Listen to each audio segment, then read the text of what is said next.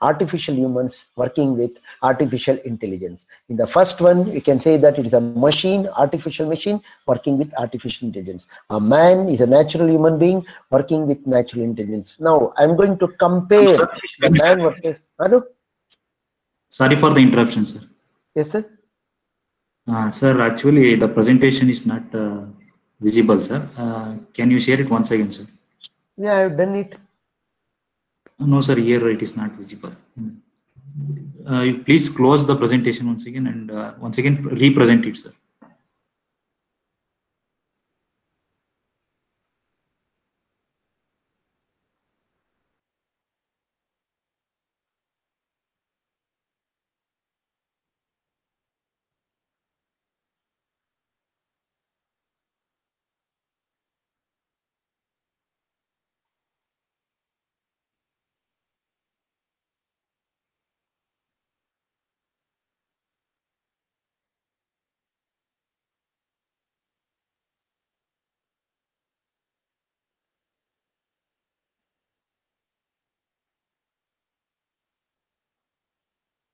Yeah.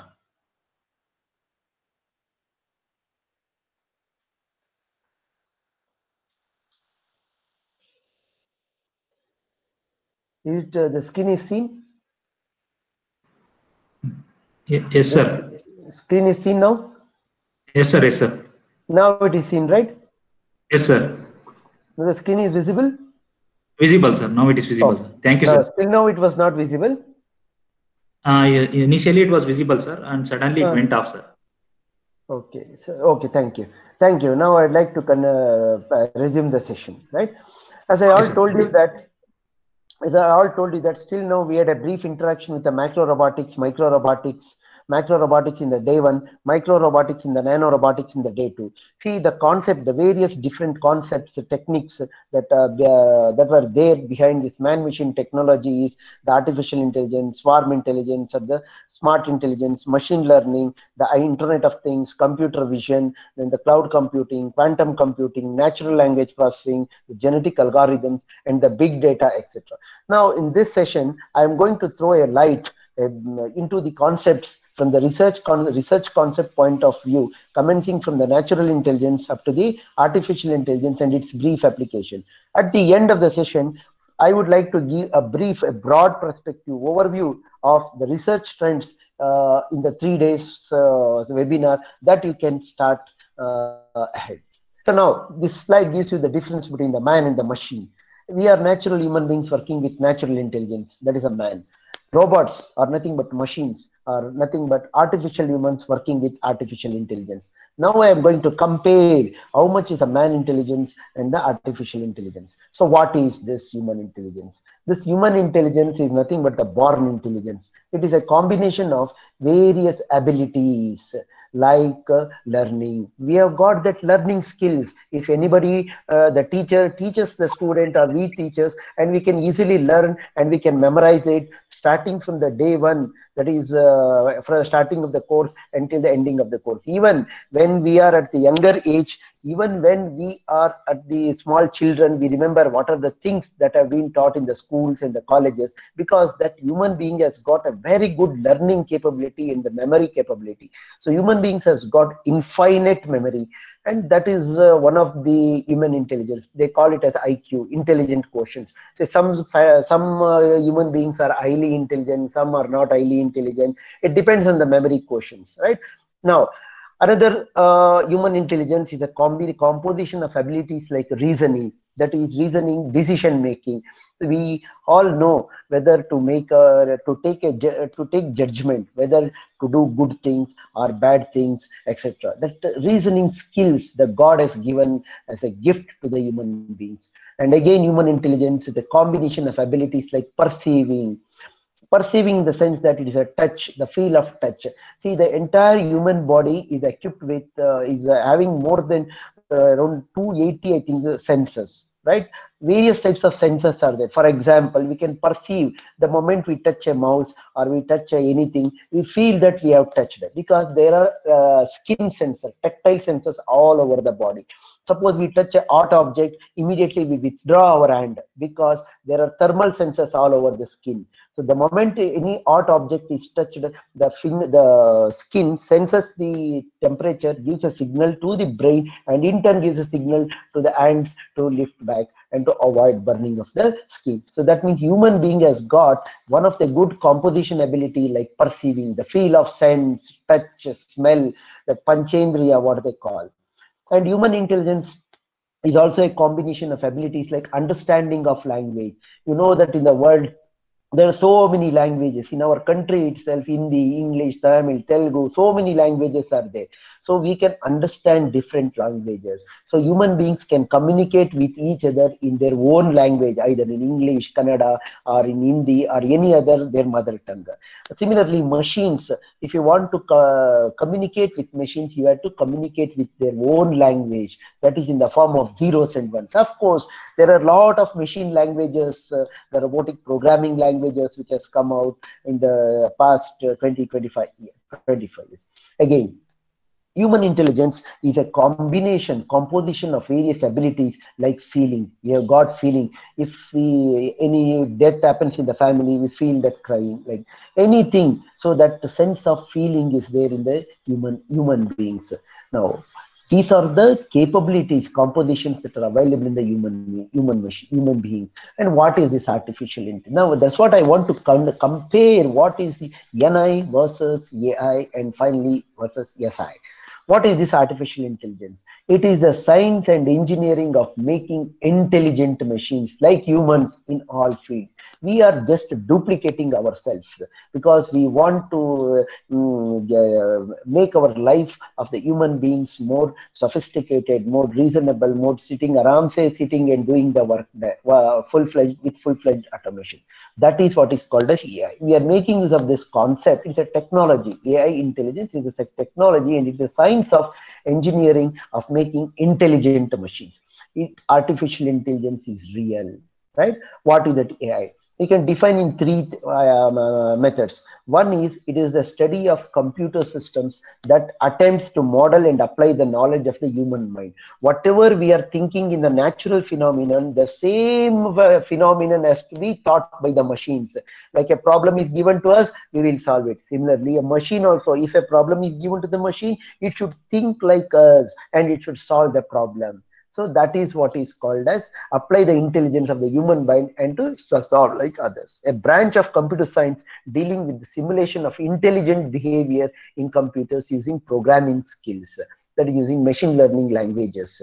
Right, the capability of a machine to imitate intelligent human be, human behavior. It can replica. That's what I told. If a problem is given to us, we will solve. If the same problem is given to a machine, it should solve by itself but it is deaf, dumb, and blind. So we have to incorporate the various types of programming skills, how to solve that, how to solve, how to imitate the human behavior like the natural, natural human being right?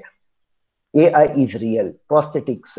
Prosthetics means it is nothing but it is a medical world which is uh, given uh, for to the uh, people who are not having any hands or legs right they can that is called as artificial legs and limbs mind control prosthetic arm the user controls the arm through the existing nerves and it is sensitive enough to pick up even a piece of a piece of a piece of uh, paper then surgical system. It is a surgical robot system that can do delicate brain surgery also enabling physicians to manipulate tools at the microscopic and the nanoscopic level. Again the space the mars the lander and the chandrayaan. Being able to navigate on the red planet the robot arm has been digging in the martian soil and ice for nearly two and a half hours a day and send all the um, uh, work that has been done uh, from the red planet to the NASA for investigation purposes.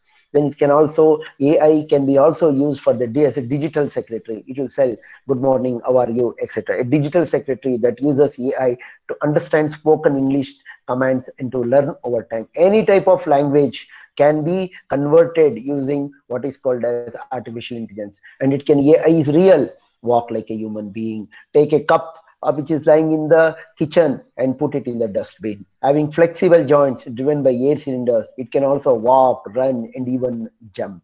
Exact replica of the human being. Will they assist us? Yes. robots in the future. They're definitely going to assist, assist us in the military technology, aiming, defending, and moving. Uh, the moving are done by simultaneously by us. But with the AI technology, the tank will be able to auto detect enemy units and take uh, pro proper action. It can be used along the borders. This concept, the technology can be used in the borders to save the life of the soldiers and the country countrymen. It can also be used in the space explorations. AI is used in the space explorations. Humans needs provision for food, water, recycling, space radiation, and psychological issues of confinement. None of these issues concerns with a robot, right? And it can also be used with a, for underwater mining. It is not possible for having mining staff on such site at um, uh, such depth.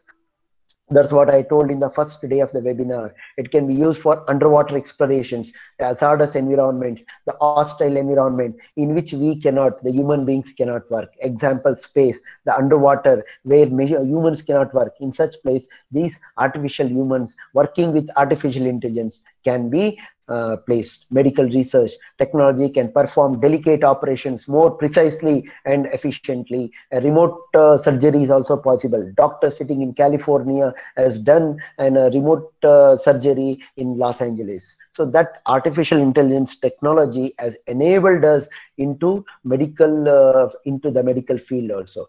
We can also be used for the ai is real. It can be used for the floor cleaning. It performs the duties of a vacuum cleaner or floor washer and also the gutter cleaner. Smart cars what is called the google cars although we haven't seen smart cars in the street yet but the ai artificial intelligence which is real is developing at such a faster rate that a day is not so far when we won't need a, driver at all. Just i think uh, shortly around uh, four or five months back in singapore it's called as agvs automated guided vehicles automated guided cars has been uh, come uh, which was uh, there on the roads. And just you have to tell to the uh, the, the driverless car mr car you have to go to this location particular that's all so it goes from the starting point to the ending point via different and it takes the shortest path, avoiding all the obstacles in its path of uh, motion by making use of visual sensors, the cameras, etc. That is what is called as the smart cars, which is coming in, I think, by in another three or four car, four years the, this uh, technology is definitely going to come out on the roads. That is by making use of AI. AI is developing at such a faster rate. We don't need a driver at all. Driverless cars, they call it as, right? Entertainment, the robot dogs, the asteroids, the movies, etc. What is the future of AI? The future of AI is unknown because it is just at a starting stage. Researchers seem to disagree, disagree on a lot of the same issues, but with the rate at which this technology is improving, it is logical to believe AI will continue to get more and more sophisticated. More, you can't even imagine in many of the engineering colleges throughout the country, uh, this uh, branch AI and machine learning is being introduced.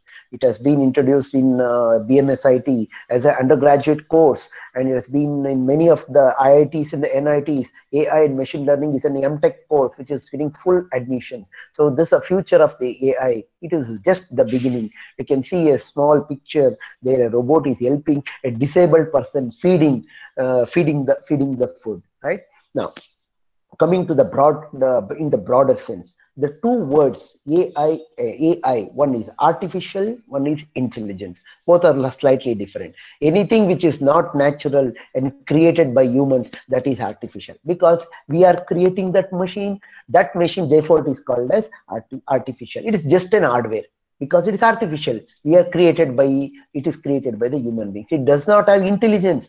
So intelligence means the ability to understand, think, reason, plan like humans. So we are thinking the same concepts you put in that machine, right? So then that machine becomes intelligence. Therefore, it's called as artificial intelligent robot. Is similar to a hardware and a software. Hardware is nothing but the robot, and software is nothing but the intelligence. So both uh, goes together like the husband and the wife. So any code, any technology or the algorithm that enables a machine to mimic, reproduce by itself or demonstrate the human cognition or behavior is together what is called as AI. I think I made it clear. So AI a two different uh, parameters. One is artificial, one is intelligence. Artificial is a robot because it is, it is not natural. It is created by humans. Intelligence is you are giving whatever you are thinking into the machine in the form of a programming skills. So the best, uh, the super robot or the most intelligent uh, natural robot is our human human being. See, the nature produces the super robot in just uh, nine months, a baby. Similarly, if you want to design a human robot, uh, an artificial robot, it takes years years together. Right? So I will define once again. What is that AI?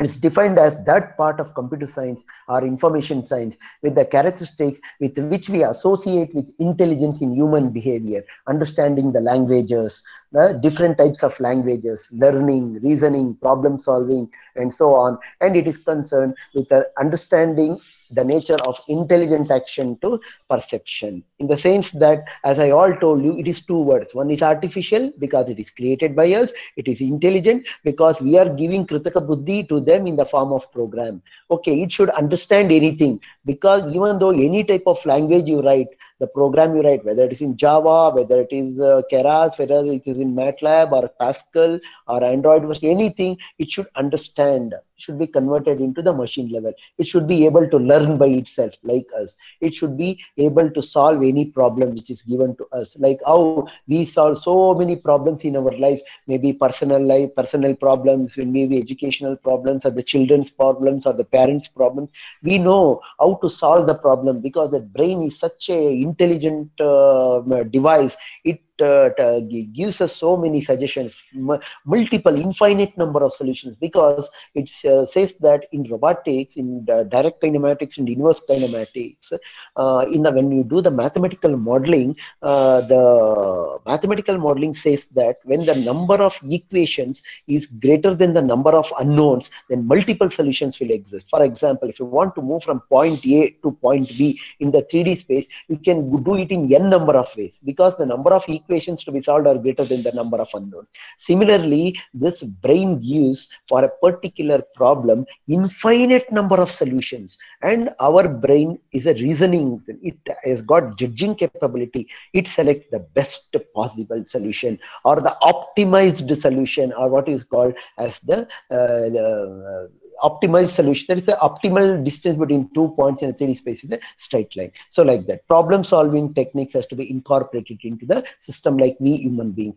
Our, whatever we are understanding, uh, so the same thing has to be transported into the machine. That is the understanding the nature of intelligent action to perception. So this AI is also, it could be coined as the ability of a device to perform functionally that is normally associated with human intelligence, such as reasoning, problem solving, pattern recognition. If you use the computer vision or the cameras, then the pattern recognition comes into the picture, the perception, the cognition, understanding, the learning, the possession of all the um, uh, this the sense of sight, light, touch, this is called the perceptions. Okay, and the collective attributes of a computer, robot, or other devices capable of performing functions such as learning, decision making, other intelligent human behaviors could also be termed as AI. So the aim, the aim of AI is to develop robotic systems that appear to behave intelligently or think like humans. So this is described in developing robots that think as. So modern robots are there, na? so they have got all advanced features like vision it is having, speech it is having, then the tactile sensing is having, they are having all these roots in the AI research. These are all the goals of AI.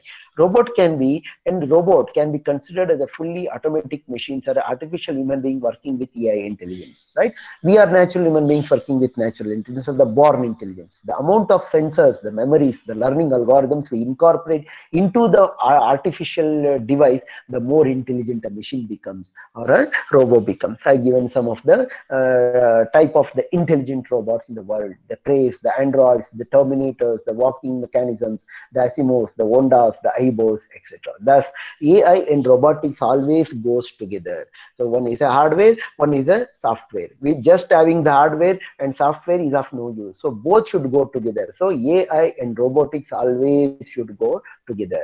And how this AI evolved, the artificial intelligence evolved, start like the evolutions of the computers, robotics, and the nanotechnology, it evolved in stages, starting from the 1943, uh, uh, from the development of the artificial neurons by Bates and the invention of the Alan Turing, the, the computing machinery in Intel. In fact, Alan Turing is called the father of artificial intelligence. It was he who coined the word artificial intelligence.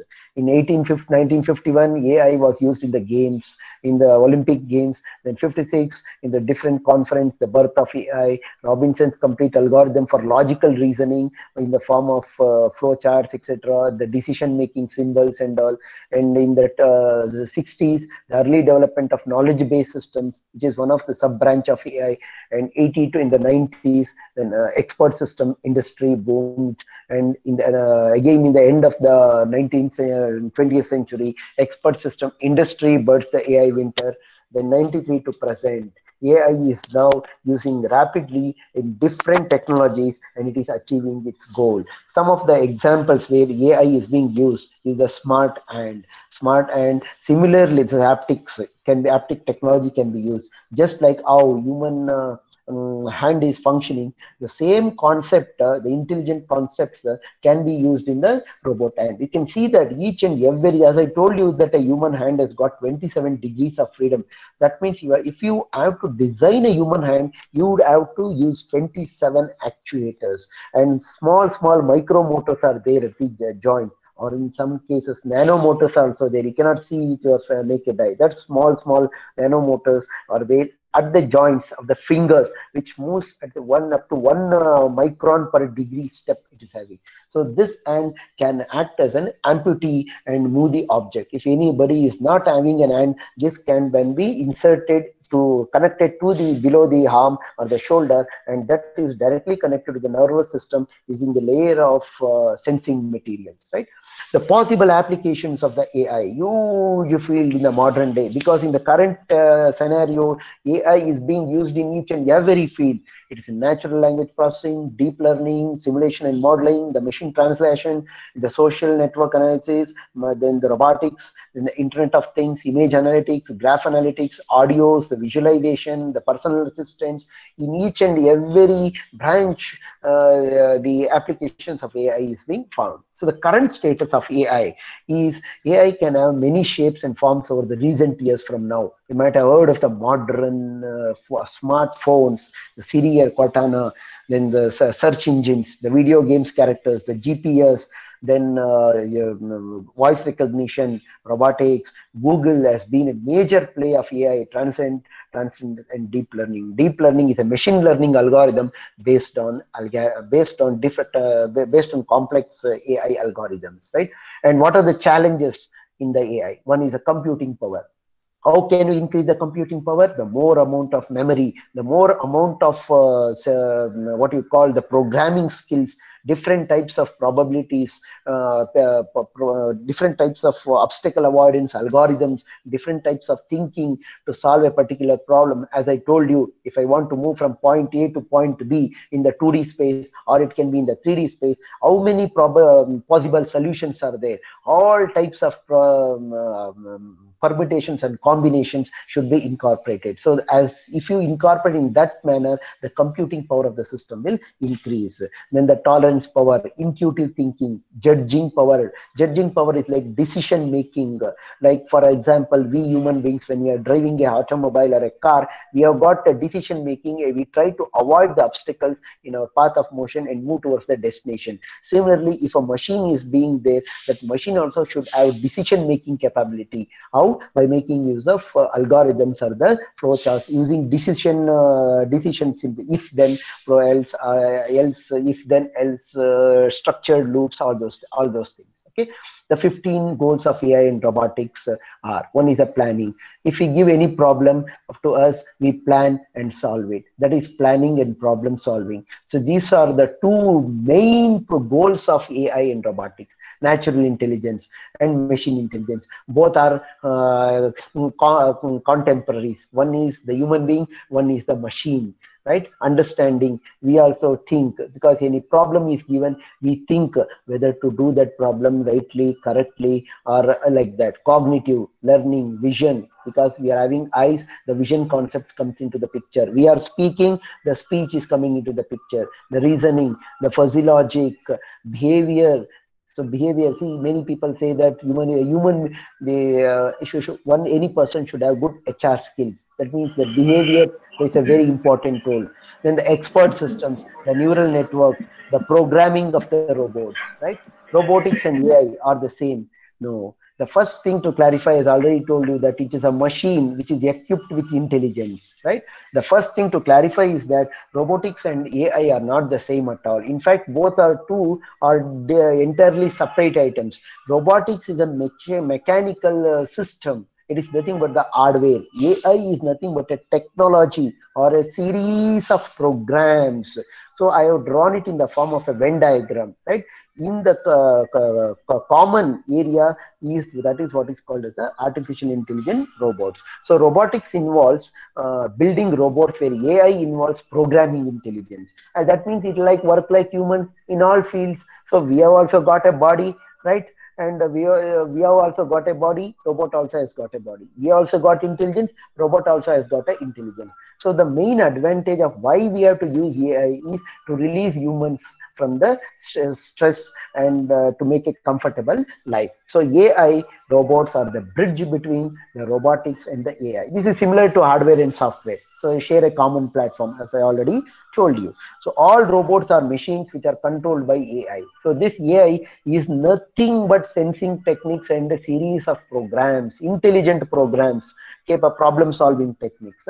So robots are not artificially intelligent how artificially we give the intelligence into the machine is important. So how do we give? More number of algorithms we feed in more number of sensory data we feed in more number of programs more number of thinking capability the learning algorithms. If you feed this much as input to the system the system will become more and more intelligent. And one day it is definite that it will overtake the humans and that day has already come so robotics and ai always goes together like husband and the wife so it is just a theory. AI is a theory. The base object is a agent who is the actor, and that is realized in the software. So robots are manufactured as hardware. The connection between the two is that the control of the robot is a software agent that reads the data from these sensors decides what to do next and then directs the end effectors to act in the physical world. As i already told you end effector is the end of the arm end of the hand. That is nothing but the fingers right? To act in the physical world to do a particular work. Say it may be an industrial application do a welding buffing grinding or writing something or doing some programming etc so to conclude, I can say that robotics and AI always goes together like husband and the wife. And in, you have seen a number of movies, AI movies. The most beautiful movie is the AI, the iRobot, Robot Franks, Robot in the Garden, the Metropolitan, the War, war Games, etc. And the Matrix, the Terminator, the two, Terminator 2, Judgment Day. It is the um, uh, fight between the natural humans and the artificial humans. That is the Arnold's Hollywood movie. Okay, artificial intelligence is in use. So some of the examples uh, I am showing it in next slides. One is in, you might have heard of the smartphones, the Siri. Go ahead, just speak. It will give you the result. No need of typing. It's been very, very useful for people who are handicapped. In the Tesla car, fully equipped with AI machines, which can go, AI concept, which is having around 800 kilometers per charge if one time if you charge it goes up to 800 uh, kilometers. Of course the cost is around 1 crore. And everything is inbuilt. The internet whatever the gps you know, the phones phone connections and the fuel systems and the accident care systems the airbags everything is automated. And there's a multiple plcs in that uh, tesla unit cogito and netflix. These are the various ai ai it's used AI concepts are used. Pandora, the Boxever, and the Nest, and even in the drones, this uh, AI is being used, right?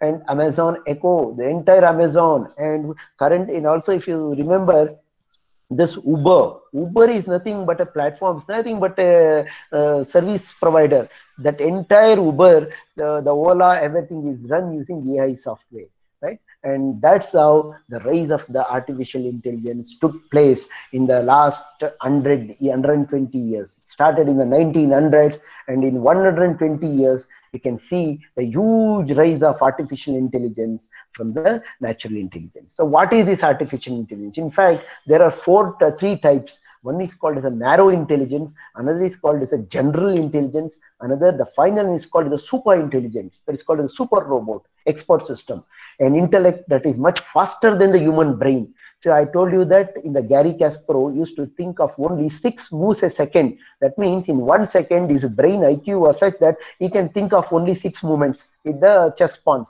But that machine was capable of thinking 1 million moves a second. That much is a computing power. Okay, creativity, general wisdom, social skills. That is called the super intelligence. This is fully related to the supercomputer, the Crace, the MX2s, etc.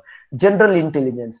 It is normal. So that you see, these three can be classified as students or faculties or uh, we human beings with uh, dullards, with medium intelligent and super intelligent uh, extraordinary they call like that it is okay? So narrow intelligence is that equals human intelligence or efficiency to do a particular just he will do whatever is assigned he will do it. You do this work yes it will be doing. But he doesn't have the capability okay? If you tell him uh, do the wrong work he will do the wrong work. But general intelligence is if you tell do a wrong work he will think hey, why this teacher or why the parent has told the wrong thing? No no i will not do it and he'll think and he will do the right work. So that is general intelligence super intelligent is extraordinary. So there is of course this is uh, you might have also seen that lot of super uh, so, super kids what they call it as uh, three ani agi and asi okay? And the man versus machine this is what is called as the uh, natural intelligence versus the machine intelligence. A team of international scientists believe that the ethical division between the humans and the robot must be made very, very low. That is, the gap should be less, lessened. Of course, it is being lessened in the this, uh, in the recent days. So recently there was a fight between Garry Kasparov and the Deep Blue, uh, to which a robot was connected. Okay, and finally the Garry Kasparov lost the battle 0-6 and the machine won 6-0. That proves the machine intelligence versus natural intelligence. That's what I call it is a supernatural intelligence. So the supercomputer used to think of 1 million moves a second, whereas Kasparov could think of only 6 moves a second. So that is the advantage if you go for the AI, the artificial intelligence. This one, this what one of the scene in which Garry Kasparov, when he was uh, defeated by the IBM Deep Blue uh, by uh, 06, he first time uh, in his life he was defeated by a machine. A machine defeated him. So that shows how much intelligent the machine is becoming day by day. Because with the inter with the uh, development of the rapid science engineering and technology the intel processor the IGN first generation second generation third generation now seven recently shortly in another one or two is the 10th generation will come. The processing speed has been increased. The parallel processing concept concepts have come. Not only parallel processing, quad pro processors have come into the market. Uh, into the market. So it is being multiplied. The processing concepts have been multiplied.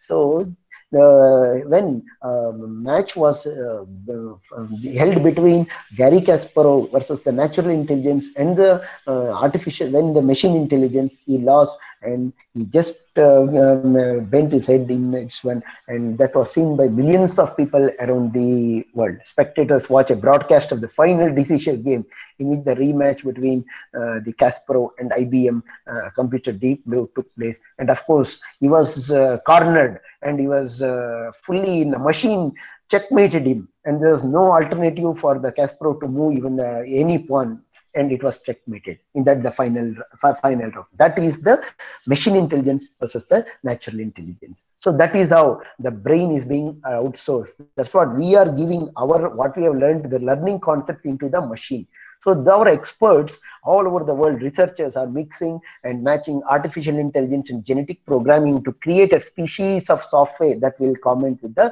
words. So this new concept which has come, the genetic uh, programming, the cloud com computing programming, the quantum dots computing, uh, this has uh, taken the programming of the systems to a new level.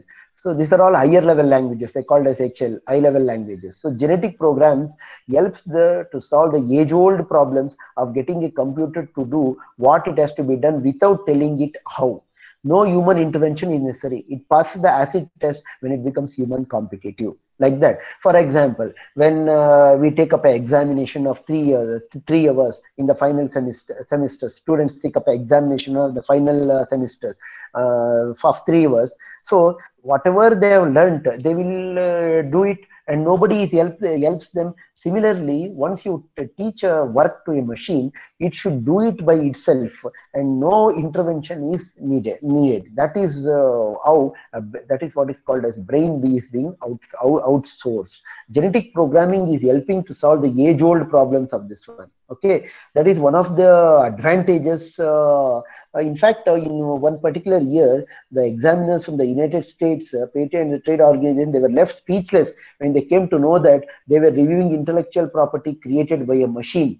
That is one of the advantage of this uh, system.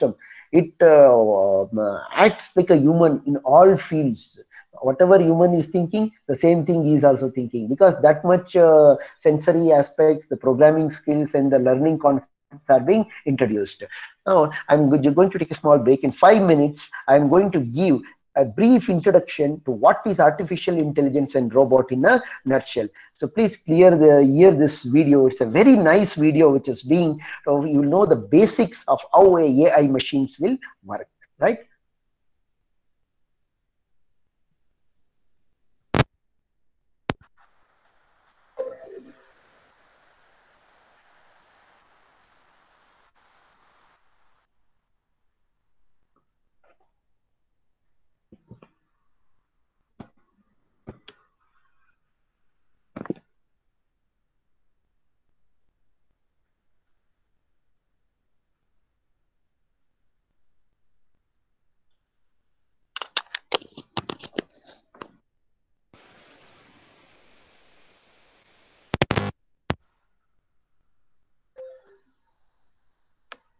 Statistical processing is there, speech recognition is there, and it's nothing but AI is a branch of computer science, and the natural language processing comes into the picture, and you can say the test of reasoning, the perception, all these comes into the picture, and the computer vision comes into the picture, and the symbolic learning, uh, learn by itself by using of the codes,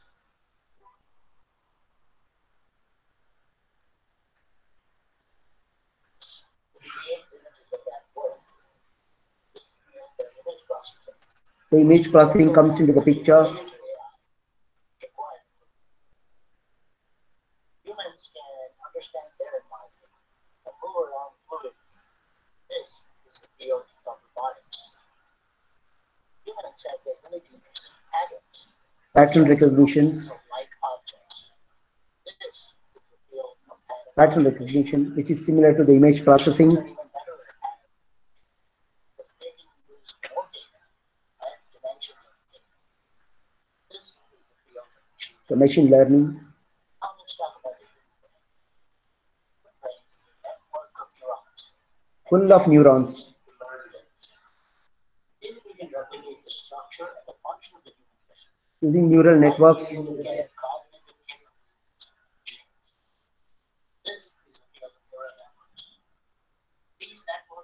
Complex and deeper, and we use those to for the deep learning concepts using the artificial neural networks.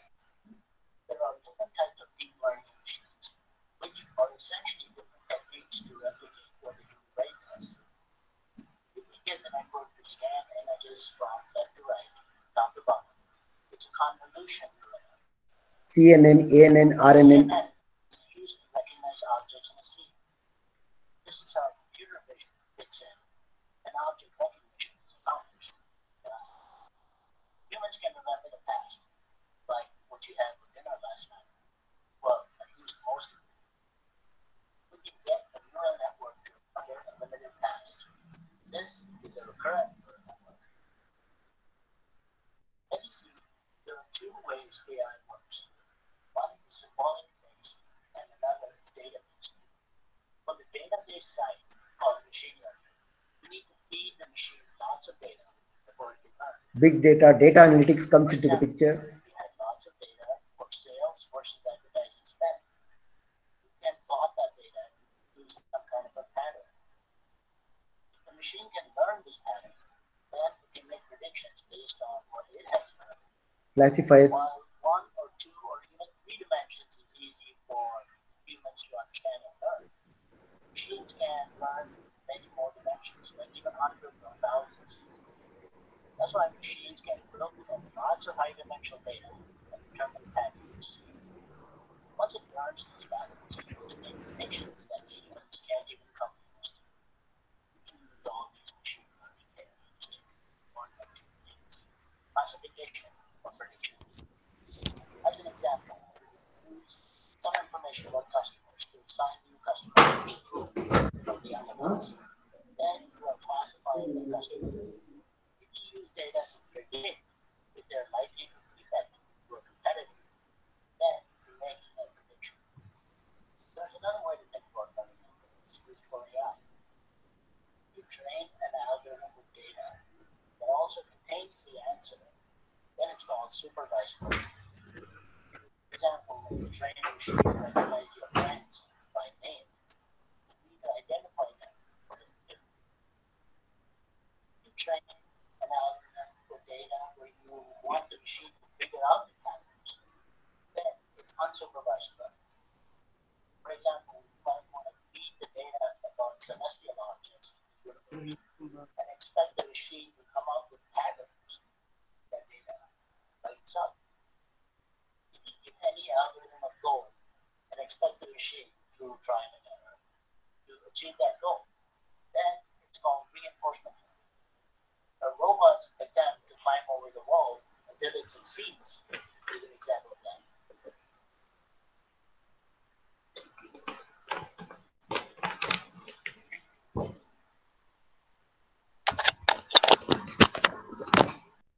This is a very good uh, video about uh, the learning uh, concepts in AI, different types of uh, AI, the supernatural intelligence, natural intelligence, etc.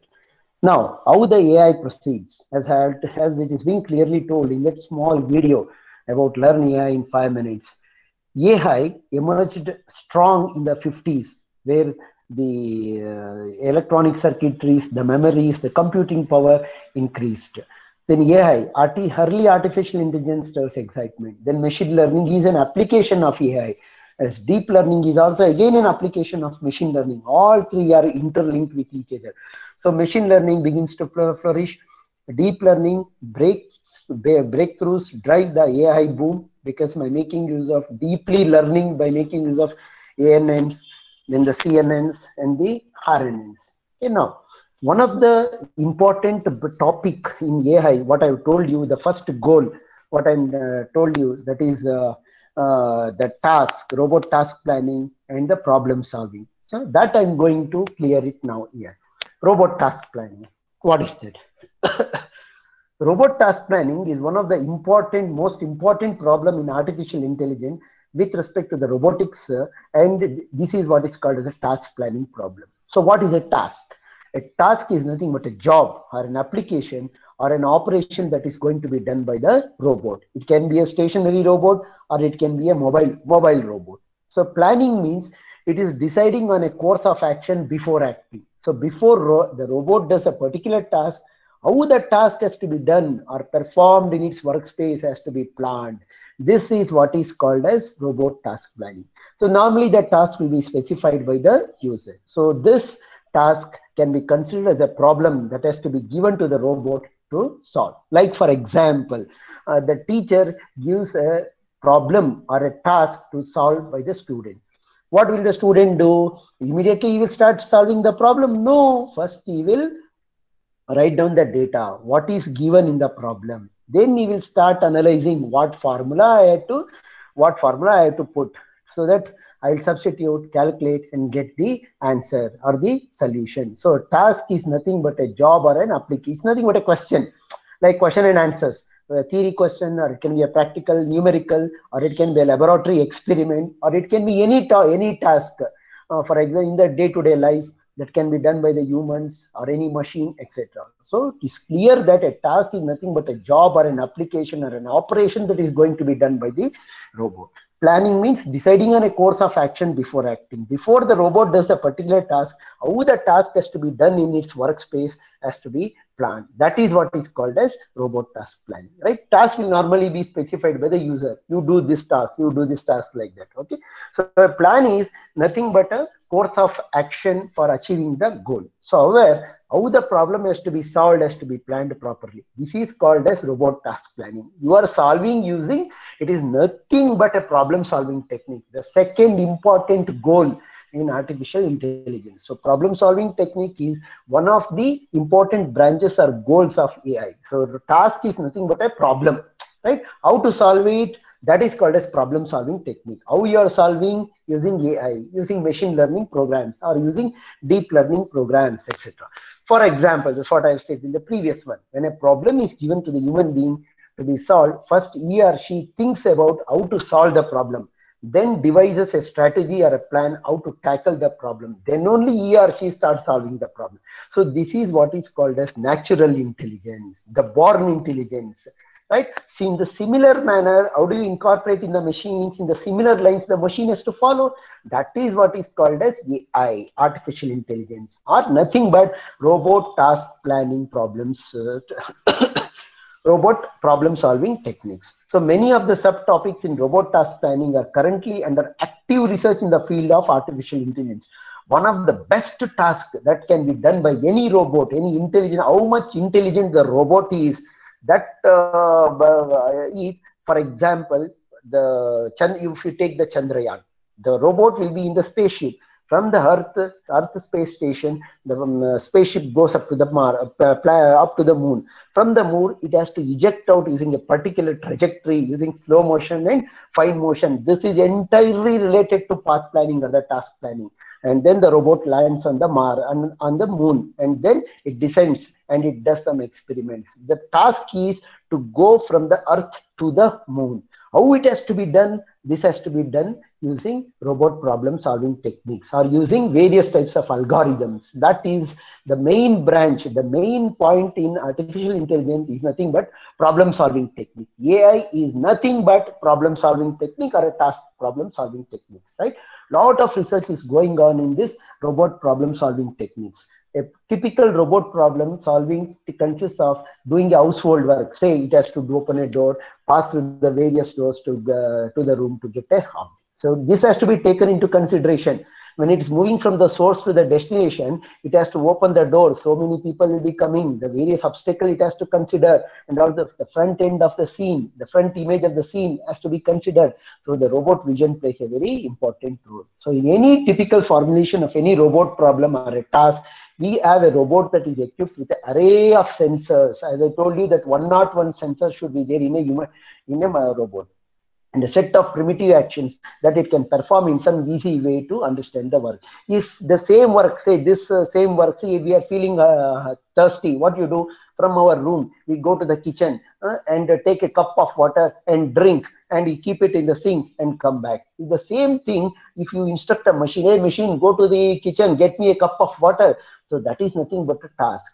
So how that task has to be done has to be planned in its workspace. This is what is called as robot task planning. And suppose if the task is very, very complicated, what is that complicated task?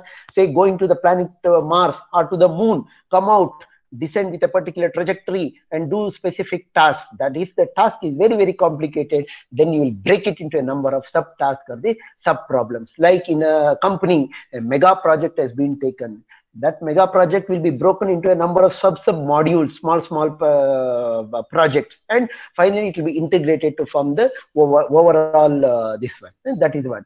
And uh, suppose if you if your program length is big what you do you go uh, go in uh, go with respect to the subroutines you make one subroutine. Uh, you call one program for one moving in straight line one program moving in a curvature another subroutine. And in the main program you will call everything that is the main task is being subdivided into a number of tasks if it is being compl if it is being uh, complicated. So the robot task planning deals with the goals of the manipulation task rather than how to achieve these goals. So what is the goal? The goal is nothing but the destination or the end of the task. That is the place position. Pick and place. Pick is the source the source is the starting position that is the reference okay? And the task planning refers simulation software such as the task planners to achieve these goals. What are these task planners? This is nothing but ai based machine learning algorithms right? And planning should be reg certainly regarded as an intelligent function of any robot.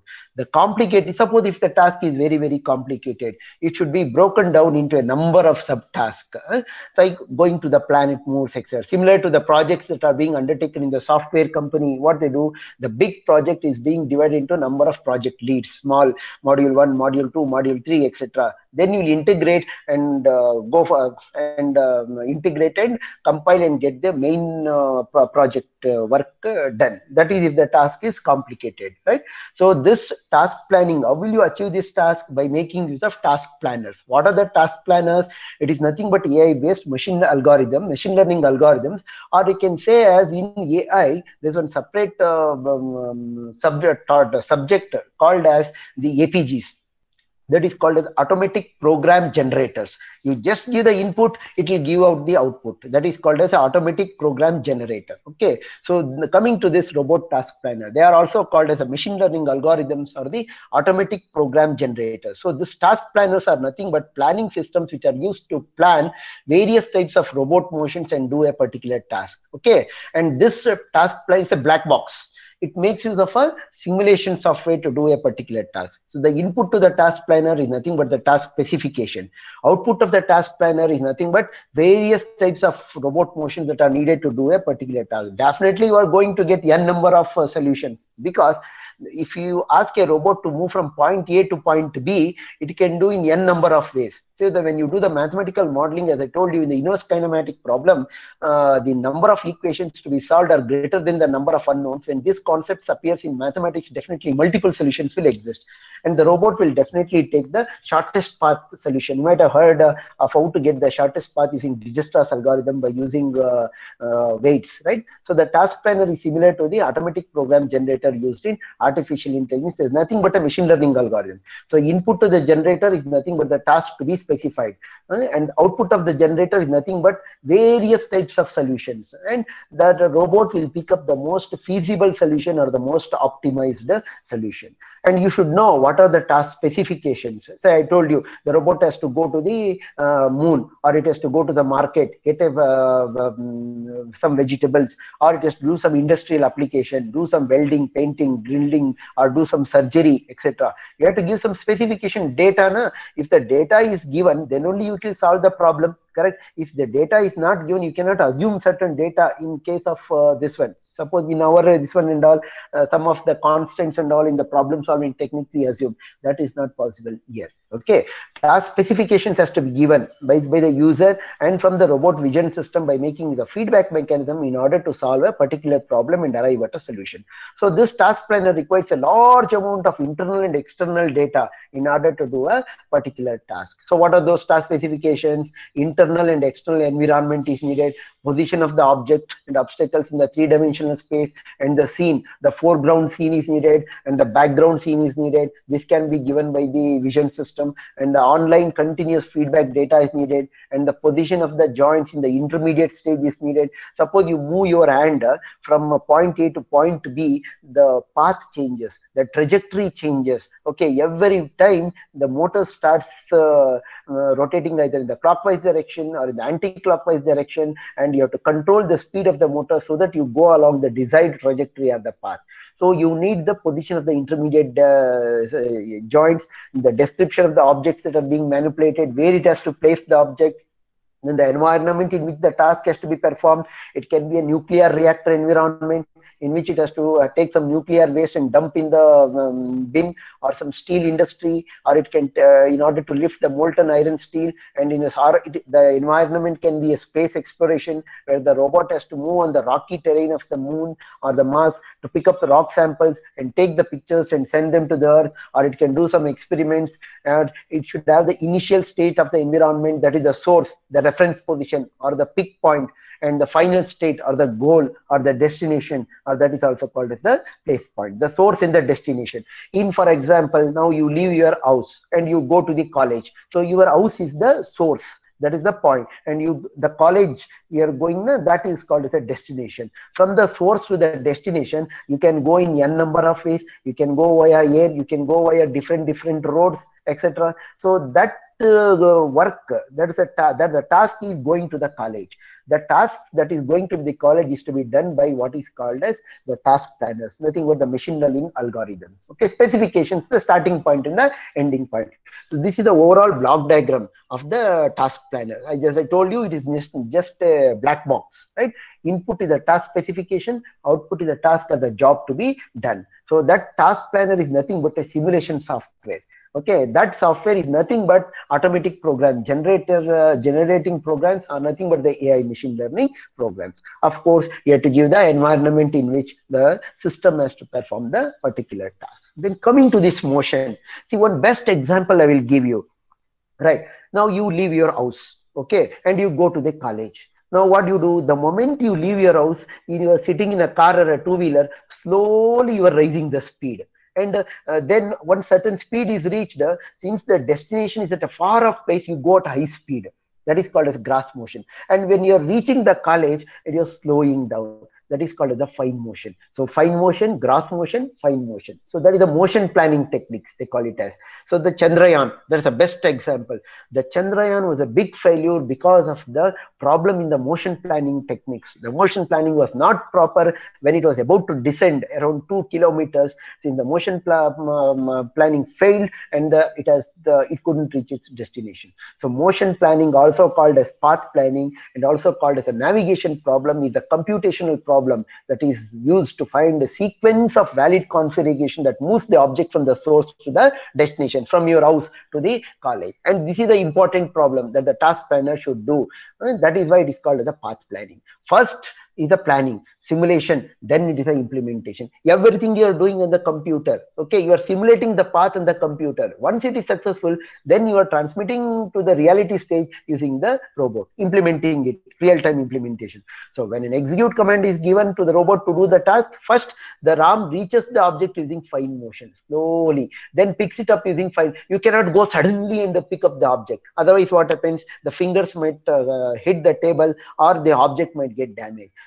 so picking up the object should be very, very slow. That is using fine motion. Then since the, once you pick up the object, since the destination or the goal is at a far off distance from the source, then use the grass motion. That is moving at a ice, ice speed. And when you are nearing the goal, that is the place position, nearing the college, use the fine motion to place the object. So this fine motion planning and grass motion planning should be planned first as it should take care of all the obstacles during its journey. Best example example of the motion planning is the Chandrayaan or the Mars uh, rover or the Earth or the Moon. See, remember this path planning, of course, we are doing in two dimensional, that is on the Earth's crust here. Here, in case of Chandrayaan and Mars, there is a Mars rover, it is three dimensional path planning three-dimensional path planning is very very tough. Every point you are getting the three-dimensional partial derivatives to move from the source to the destination. So the pick and place operation should always follow the trapezoidal speed profile curve which i had uh, shown in the below. That trapezoidal speed profile curve is slow at start and go at maximum speed. Slow at uh, slow down ramp down deceleration. This is best example of how you go from the house to the college. Uh, increase the speed go at maximum speed. When you're reaching reaching the college, slow down. This is called as a trapezoidal speed profile. The same concept has to be used in the machines, uh, picking up and placing up, moving from the source and going up to the destination. And during this journey, from the source to the destination if any obstacle comes in its path of motion that you have to take care. You have to circumvent the obstacle move towards the uh, destination. That's why in robots in the machines ai is used for path planning or the motion planning techniques. The moment you move your hand or move your any point on the tip of the finger the um, uh, mathematical modeling equations goes on changing. The trajectory goes on changing. The path goes on changing so start of the path and the end of the path. So there are two, th three types of motion planning techniques. One is the gross motion planning. Again, there are two types, configuration space and the freeway space. The second is the fine motion planning. There are two types called as a guarded motion and the compliant motion. The final one is called as a grasp motion planning, with a safe grasp, reachable grasp, secured grasp. Okay. See, I shown you one of the, this one here when you go to pick up the object, you go using fine motion. So, see, I'll, if you get confused, I can give you a beautiful example. In your electronic laboratories, the um, power supplies are there. There are two buttons. One is the coarse, another is the fine. So, fine is used for small variations. Coarse is used for large variation. Similarly, to pick up the object, you use fine motion. Eh? And to place the object, you use fine motion. In between, you use the grasp motion okay? And i give you the best example of a grasp see how the object has to be grasped or grip uh, gripped properly you take two fingers. You in the class what you do you take the duster. And when you take the duster you will hold along its length not along its width. Because if you hold, uh, hold the duster along its width, the finger has to be, the two fingers has to open wide. Stress will be on the fingers. Therefore, you hold it straight and rub the board. That is one of the efficient method of grasping. That is called as reachable grasp planning uh, technique. I've shown the various methods of grasping uh, here. Okay. And uh, this is one uh, motion planning I have shown here. Right. Of course, this was done as a one uh, MTech project by our students.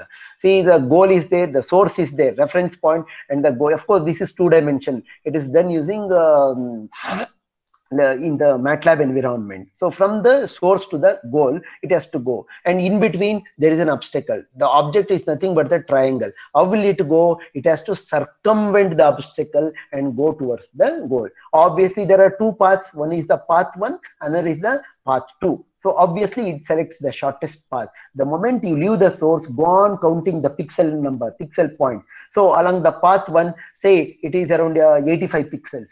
And along path 2 it is a 90 pixels. Obviously the 85 pixel wala will be the shortest path, uh, shortest uh, path. That's what i've shown here in the below in the this one. You can see there is a b is nothing but the obstacle.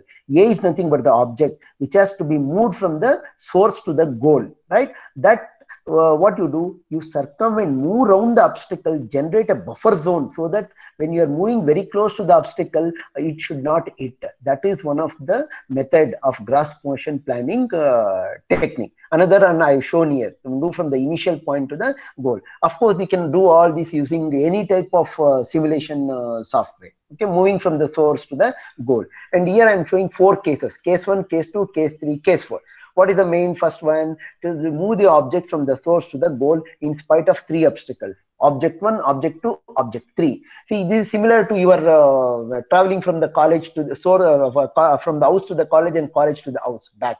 See, when you're going from the house to the college, so many obstacles will come in the path. The human beings will be coming, the cows, animals will be coming, the other cars, other vehicles will be coming. So they are moving obstacles. Some will be moving obstacles, some will be stationary obstacles. Here, the path planning will be become more difficult if the obstacle is moving. You need there are two cases you have to consider. One is the obstacle moving along with you. Uh, another is obstacle moving in the opposite direction to you. So that path planning will become more difficult if the obstacles are moving. Here I considered the obstacle as only stationary. So if it is stationary, the best method is you can move around the obstacle, you can move around the left, you can move right, and you can move in between the obstacles. Obviously, you are moving in between the obstacles, that is the shortest path. So you can see that in the second case, there is no space for movement. Why? Because the gap is very small. Since the gap is very small, that gap is uh, less is uh, lesser than the dimension of the object. So there is no space. It cannot pierce and enter. Otherwise, the walls of the object will get uh, uh, collided with the obstacle and scratches will occur. So this is what is called as the gross motion planning technique. Generation of shortest path using configuration space method uh, by circumventing the obstacle or moving in between the obstacles to generate the shortest path. Again, I'm showing, suppose for one example, I've shown the below the square, the go, uh, source is below, the obstacle is very big and the goal is like that. Now you cannot uh, go in a linear fashion, you can go straight and in some cases you have to rotate the part, object. So the space between the wall of the obstacle, workspace area and the obstacle is very less.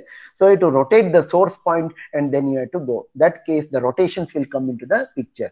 So translations are performed along the freeways. Rotations are performed at the junctions of the uh, junctions of the freeways. So this is one of the best method of uh, doing the gross motion uh, planning. I've shown you as a beautiful method. A second method, what is called the freeway method. Obstacle one is there, obstacle two is there. So you uh, measure the midpoints between the two obstacles, right? And you join all those points, you get a locus. If you move along that locus, then there will be no collision of the object with the obstacle. So it is equidistant because the object is equidistant from the obstacle. Another one simple example I'll give you. See in a traffic signal, uh, there is a three lane. In the first lane, one car will come and stand. In, in the third lane, uh, very near to the divider, another car will come and uh, sit, uh, stand. Now what you do, exactly you come and stand in the second lane, in between the car one and the car two. That is what is called as path planning naturally, using natural intelligence. The same concept has to be uh, utilized in the machine. So the path obtained is the shortest path if you use the midpoint method or the freeway method and it will be an obstacle collision path because it is equidistant from the obstacle. Definitely there is no chance of collisions. And this method will work successfully when the workspace of the environment of the robot is cluttered fully cluttered with huge number of obstacles like in a market zone. Like in a market zone you have to move from one point to the another point. You can make use of this midway method. So gross motion mapping is also called as the freeway method so one of the important method of solving the gross motion planning is to go on searching all the available paths in the workspace of the robot. Okay, once you search all the available paths, then decide the shortest path using uh, various types of techniques such as the heuristics method, right? The space in between the obstacles is referred to as the freeways along which the robot or the object can move. So the translations are performed along the freeways and rotations are performed at the junctions of the freeways. So this freeway method of designing the gross motion path is called as a gross motion planning. Now you can see there are two parallel paths, straight line. Translation is performed along the freeways. Now after it uh, reaches the end, you have to take a turn, you perform a rotation. So rotations are performed at the junctions of the freeways. This is one of the design which are implemented uh, in uh, by using the shortest path algorithm. In fact, I have designed my this. It has come out as one of the transaction paper around 10 years back, and I have designed my own uh, gross motion planning using the mathematical uh, modeling. Right. Of course, this took a lot of time, the mathematical equations. You can see there, P1, P2 is there. Okay, that is one edge of an obstacle. P3, P4 is there. That is edge of another obstacle. Now, I have to move from one point to the another point. How you have to move? You have to move in such a way that the object will not collide with the walls of the obstacle. Then the distance between the obstacles has to be measured. Mathematical models has to be created. That has to be given as input to the algorithm or the task planner simulation software, the machine learning algorithm. It has to move along that particular path and definitely there will be no collision of the object with the obstacle. This is what is called as gross motion planning and fine motion planning techniques.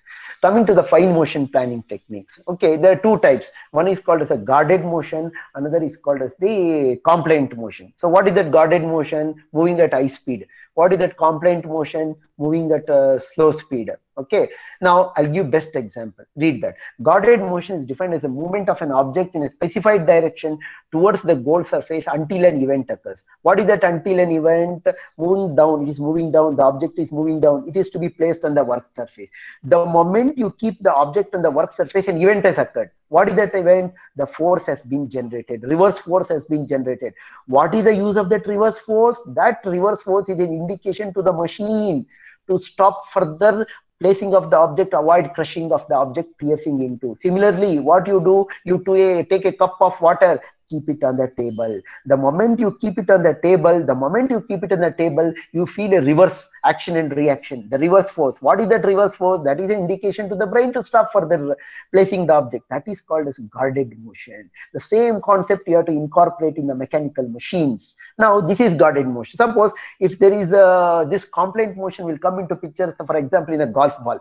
In the golf ball, the golf golf keeper, what he has to do, he hit the ball. If the ball goes very, very nearer to the hole, it's small, uh, some small uh, gap, it will not go inside the wall. So what you do, in that case, you use the complaint motion. What is that complaint motion? That additional motion that is required by the object along the contact surface in order to place the object in the desired configuration after the guarded motion has been performed.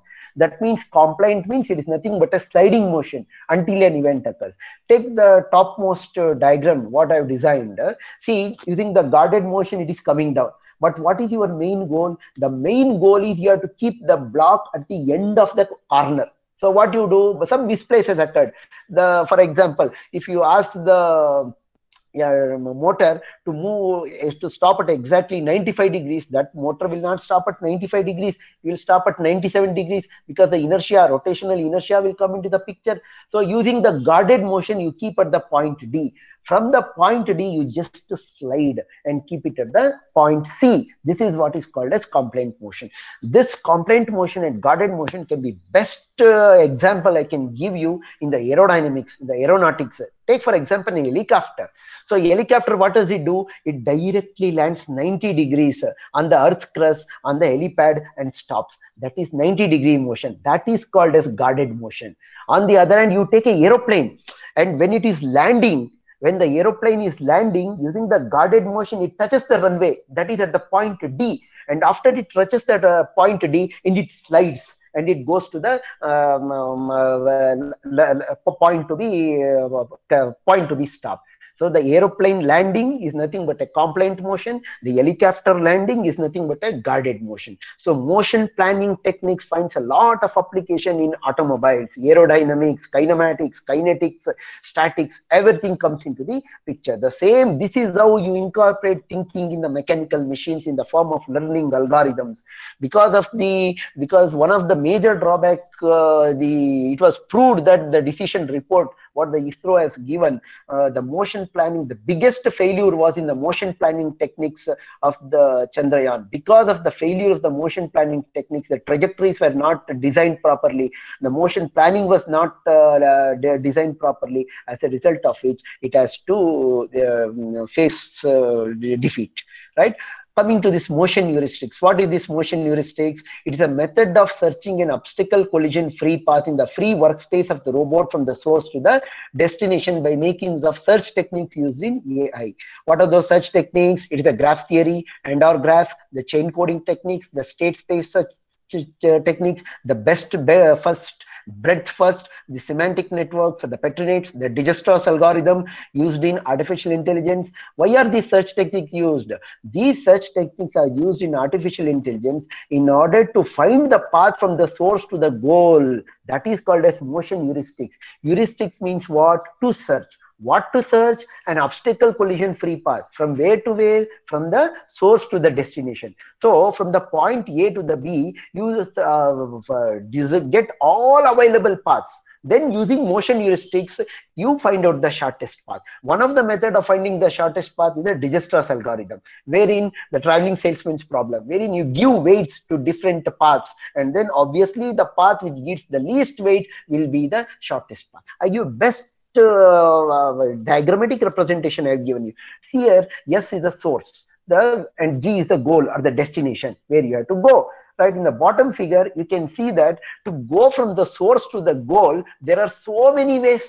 We can go path number one, path number two, path number three, path number four, five, six, seven, n number of paths are there because the number of equations, the kinematic, inverse kinematic equations to be solved are greater than the number of unknowns. Okay, now what you do, you design all available paths using learning algorithms. One is moving in between the obstacles, one is moving around the obstacle, one is moving around and in between. Like that, you design all types of paths.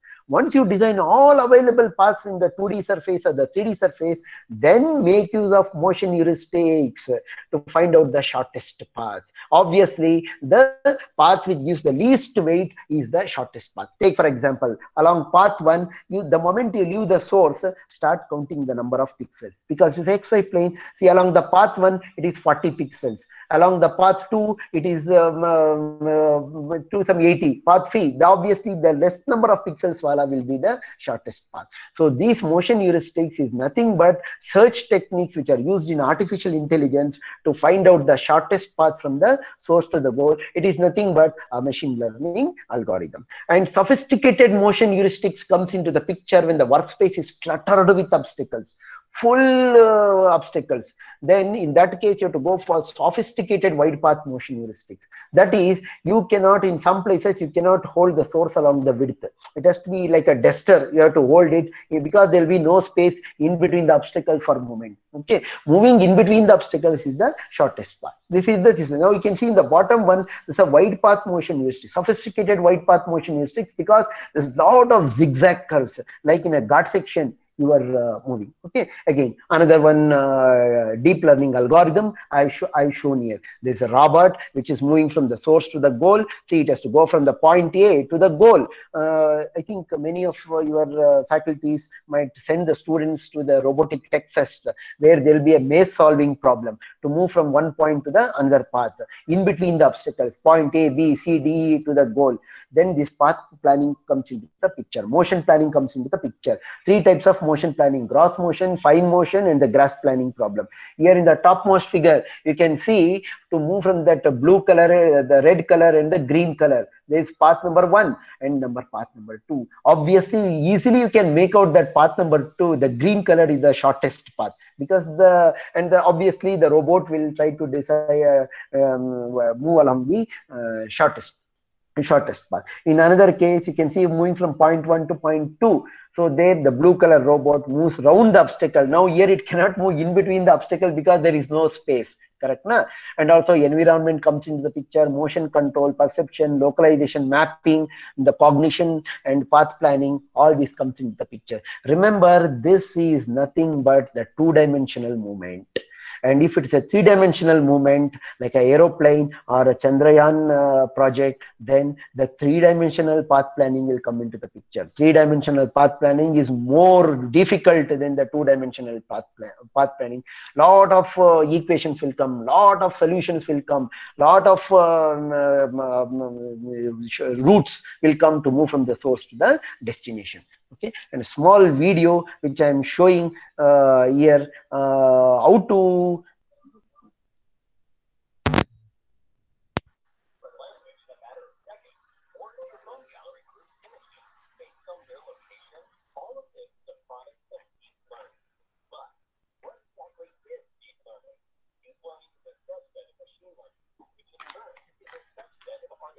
intelligence. Artificial intelligence is a technique that enables a machine to mimic human behavior. Machine learning is a technique to teach AI through algorithms trained with data. And finally, deep learning is a type of machine learning inspired by the structure of the human brain.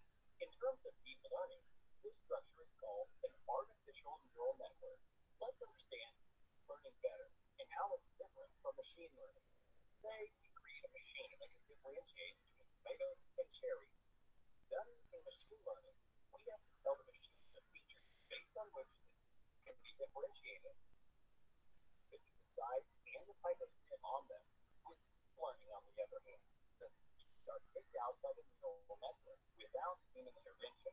Of course, that kind of independence comes at the cost of having a much higher volume of data to train our machine. Now, let's dive into the working of neural networks.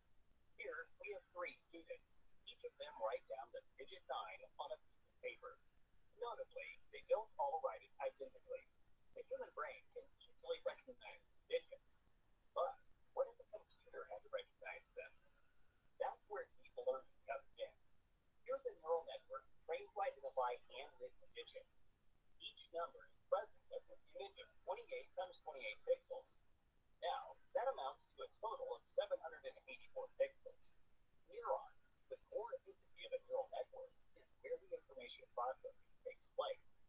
Each of the 784 pixels is fed to a neuron in the first layer of our neural network. This forms the input layer. On the other end, we have the output layer with each neuron representing a digit with the hidden layers existing between them. The information is transferred from one layer to another over connecting channels. Of these has a value attached to it, and hence it's called a weighted channel. All neurons have a unique number associated with it called bias. This bias is added to the weighted sum of inputs reaching the neuron, which is then applied to a function known as the activation function. The result of the activation function determines if the neuron is activated. Every activated neuron passes on information to the following layers. This continues up till the second last layer. The one neuron activated in the output layer corresponds to the input digit. The weights and bias are continuously adjusted to produce a well-trained network. So, where is deep learning applied? In customer support. When most people converse with customer support agents, the conversation seems so real, they don't even realize that it's actually a bot on the other side.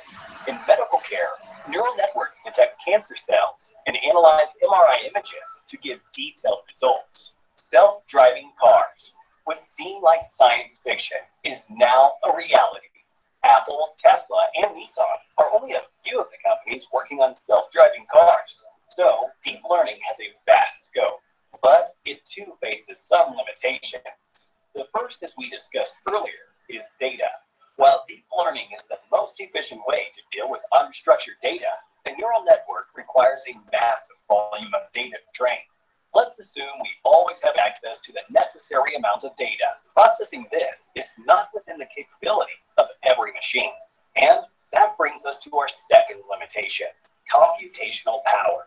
Training a neural network requires graphical processing units, which have thousands of cores as compared to CPUs. And GPUs are, of course, more expensive. And finally, we come down to training time.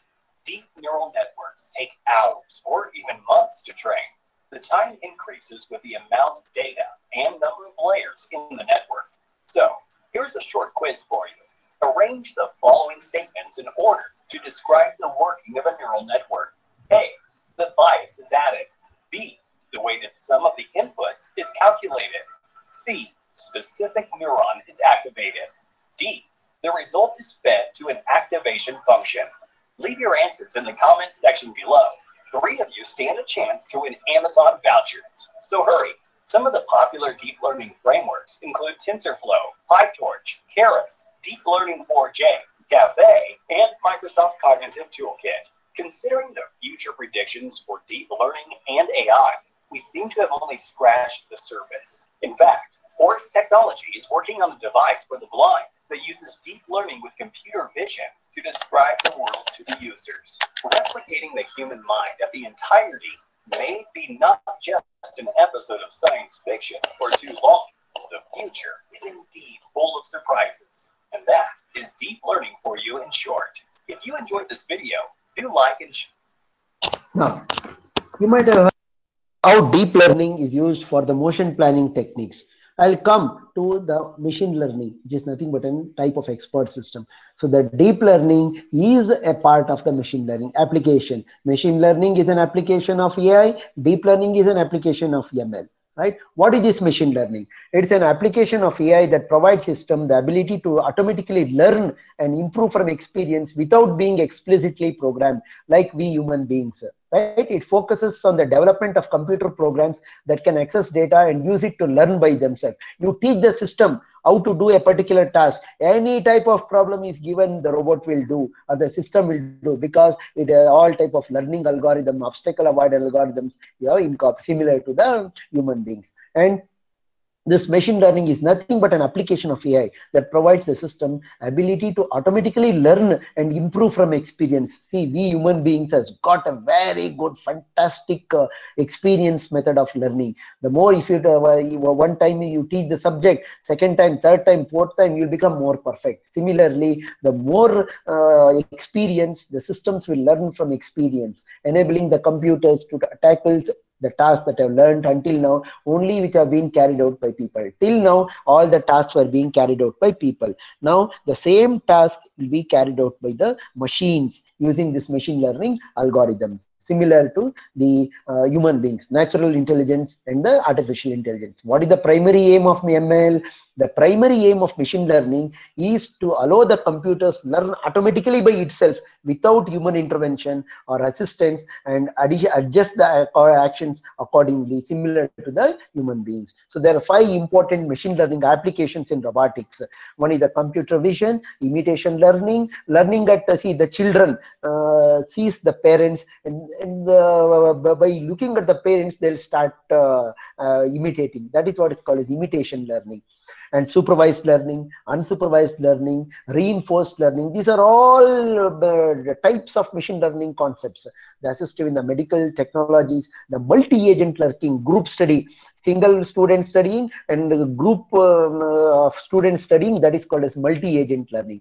See, we have seen medical, um, sorry, machine learning as a buzzword for the past few years. The reason for this is the high amount of data production by application, the increase of computation power in the past few years, and the development of better algorithms for understanding cognition and uh, recognition. See, some of the machine learning uh, concepts that are in use are prediction, image recognition, speech recognition, medical diagnosis, financial industry, and trading. Prediction. See, we can predict, for example, today it is going to because of the previous data like that prediction it can be a non-causal system right? Machine learning can also be used in the prediction systems. Consider the loan example uh, to compute the probability of a fault. The system will need to classify the available data in groups. The um, uh, what we call the score the cricket scoreboard that you can also predict. In 10 overs you can uh, hit this many runs. In 20 overs 30 overs that is prediction algorithm is there which is a part of the artificial intelligence.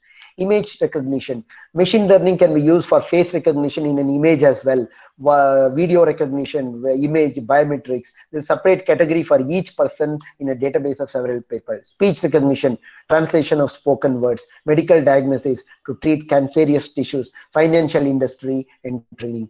The Google CEO Sundar Pichai, he tells so machine learning is a core transformative way by which we can rethink everything we are doing. Sundar Pichai says the CEO of Google.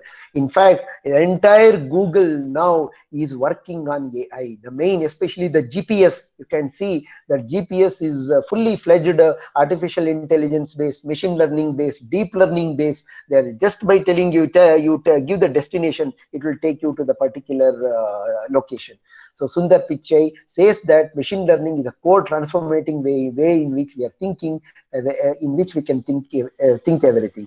A small two minutes video, I'll be showing about what is, uh, what, is machine, what, what is machine learning.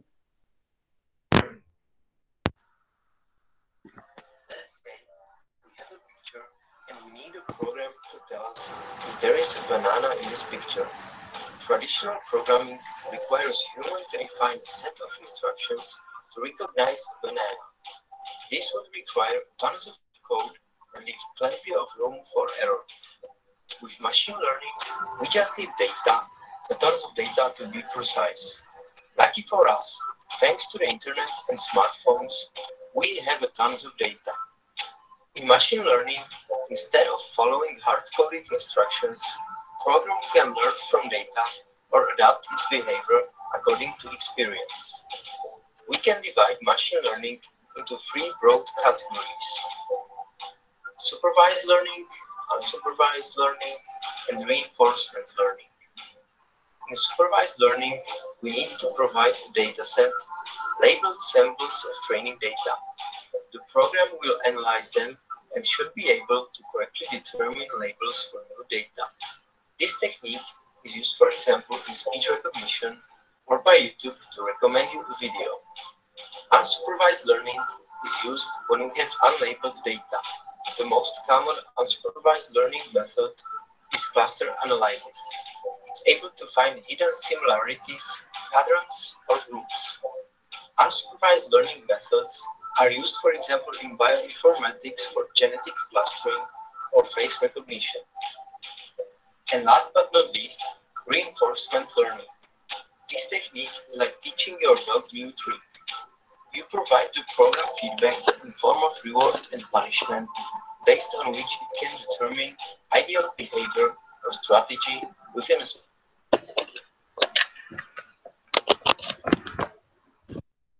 video learned what is a machine learning the basic concepts the types types of learning. So it is a field of study that gives computers the ability to learn without being explicitly programmed. In simple sense it is based on prediction of data prediction analysis and is concerned with the computer programs that automatically improve their performance through experience like we humans how we learn from experience and do a particular task like it can be painting or a ಗಾರೆ ಕೆಲಸದವನು ಇರ್ಬೋದು or machine worker ಇರ್ಬೋದು or tank cleaner ಇರ್ಬೋದು by experience it does the work because he has been learned similarly if more experience the machine will learn by itself based on the prediction data and it can do do the particular job that is what is called as machine learning or i can say it is a subfield or computer science that gives computers the ability to learn without being explicitly performed in fact arthur had defined this or it is a computer program is said to learn from experience E. It's a vector with respect to some class of tasks, again a vector T, and performance measure P, again a vector.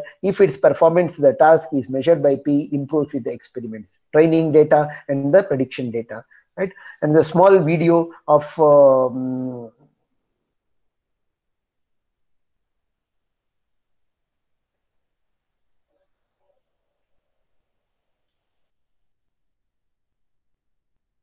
think the video is not there. And what are the main advantages of ML? The main advantages of L, uh, machine learning are learning and writing algorithm.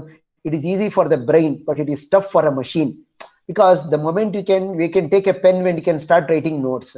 But the same concept has to be implemented by a robot writing notes. It is very tough. You have to give in the learning mechanism. You have to break it into a number of sub sub programs etc that's what i have written there. Learning and writing an algorithm is one of the main advantage it's easy for humans but it is tough for a machine. It takes some time and good amount of training data for a machine has to be given. Implementation automation. This is easy for a machine only because the machine has learned uh, uh, learned the process because 1 million images has been fed in trained data is there trained data sets is there and without any fatigue where the human brain can't do that's why machine learning is always linked with the big data and this is a deadly combination in uh, combination in uh, nature.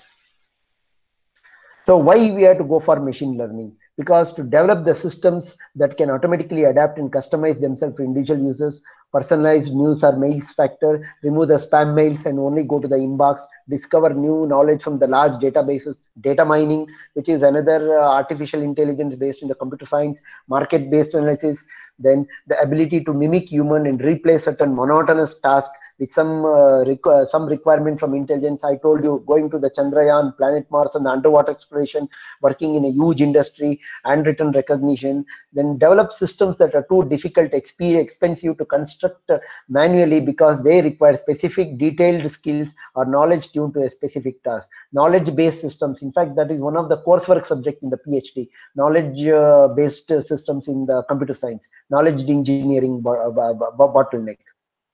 Now, what is this machine learning? First, data, training data, then learning algorithm. Once it is being trained, uh, you just give a input, any type of uh, answer you get. Like uh, how the teacher teaches the students the entire course, entire subject. and when the subject, since the student has been trained, any problem is given, any query is being given to the student as he is trained, he is going to get out, They get the answer. answer. Again, there are three types of, one is super intelligent, one is a middle intelligent, one is a dull intelligent, according to the methods of uh, methods of AI, right? You can see here uh, in this slide that the learning, the apples, which group it becomes. Suppose you give all these data sets, apple belongs to which group of apples, then the tomatoes, the animals, which group does the object belong to? All these has to be trained using the convolution neural networks or the uh, artificial neural network or the recurrent neural networks. So the three big data parameters in the machine learning are the data, the devices, and the services right? And this information is very much essential for the machine learning uh, to develop the uh, to develop complex uh, machine learning algorithms or path planning uh, this one. So the basic steps used in the development of any machine learning algorithm are five. One is collect the data prepare the data train the model uh, evaluate the model and improve the performance. How will you improve the performance? Just give a query. Because you already trained and evaluated it gives out the right results. So these are the five important steps for performing any machine learning application. Right? And here you can see one of the beautiful video of uh, this one. And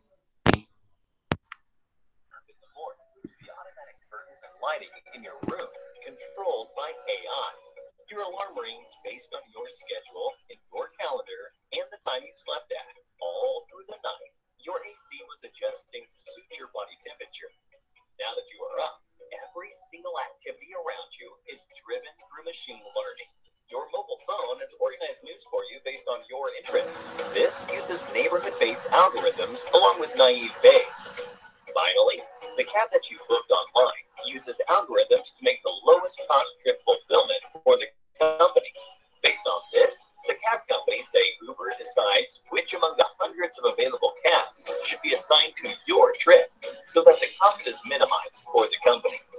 Machine learning has engulfed every part of our lives. Machine learning uses algorithms to mimic human learnings in machines. It is a subset of artificial intelligence. To simplify this idea, let us take up a small story.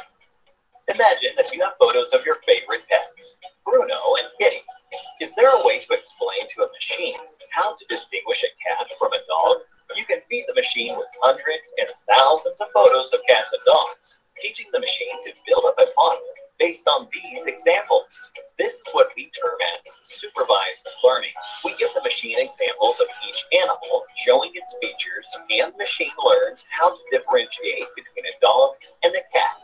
This way, it can recognize your Bruno and Kitty. Classification and regression are the two most popular methods, and decision tree, naive Bayes, linear regression, and SVM are the most popular algorithms in supervised learning. In unsupervised learning, you don't really have a predetermined result in mind. Much like how a child explores the world on its own, the machine tries to make sense of things from huge amounts of data. Given many photos of animals, the machine starts segregating them by color, size, and shape. Such an approach is known as unsupervised learning. Clustering and association are the types of unsupervised learning, covering algorithms such as k-means, hierarchical, a priori, and genetic algorithms. Reinforcement learning is very similar to how children learn. When you were a child, you were rewarded for your good deeds and punished for making mistakes. This reinforced you to perform better than you were before. Similarly, users, just like parents, teach a machine where it made a mistake and where it was right. Thus, the machine develops intelligence and makes better decisions in the future because of this reinforcement. Google's AI can now design better AI than humans could. Isn't this mind blowing? It is like we are playing God, where our creation is creating better creations. The AI algorithm, developed by Chinese retail giant Alibaba, outscored humans in the Stanford question answering dataset, showing that AI is now better at reading than humans. Another interesting article talks about five things AI does better than humans, including building wooden block towers, lip reading, transcribing, news reporting, and disease diagnosis. An average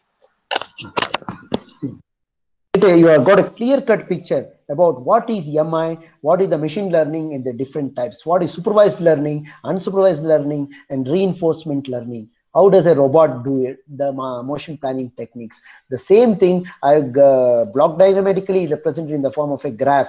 One is a supervised, one is uh, unsupervised, and one is a reinforcement learning that is what various concepts comes into the picture big data feature recognition one is a trained one is a untrained okay the real-time decisions it has to take the robot navigation will be taken place the game ai the population growth the market forecasting the diagnostic the um, feature uh, feature detection etc so by using all these concepts uh, the machine learning algorithms can be designed in such a way that the robot can do a specific task intelligently like humans and can work like humans in all fields so in this overview of supervised learning algorithm, what is there? An AI system is presented with a data which is labeled, which means that each data tag has got the correct label. So what is our main goal? Our main goal is to map that is uh, so that when you have a input data x so that you can get the predicted output variables y. Now here is a classification techniques. There are spams.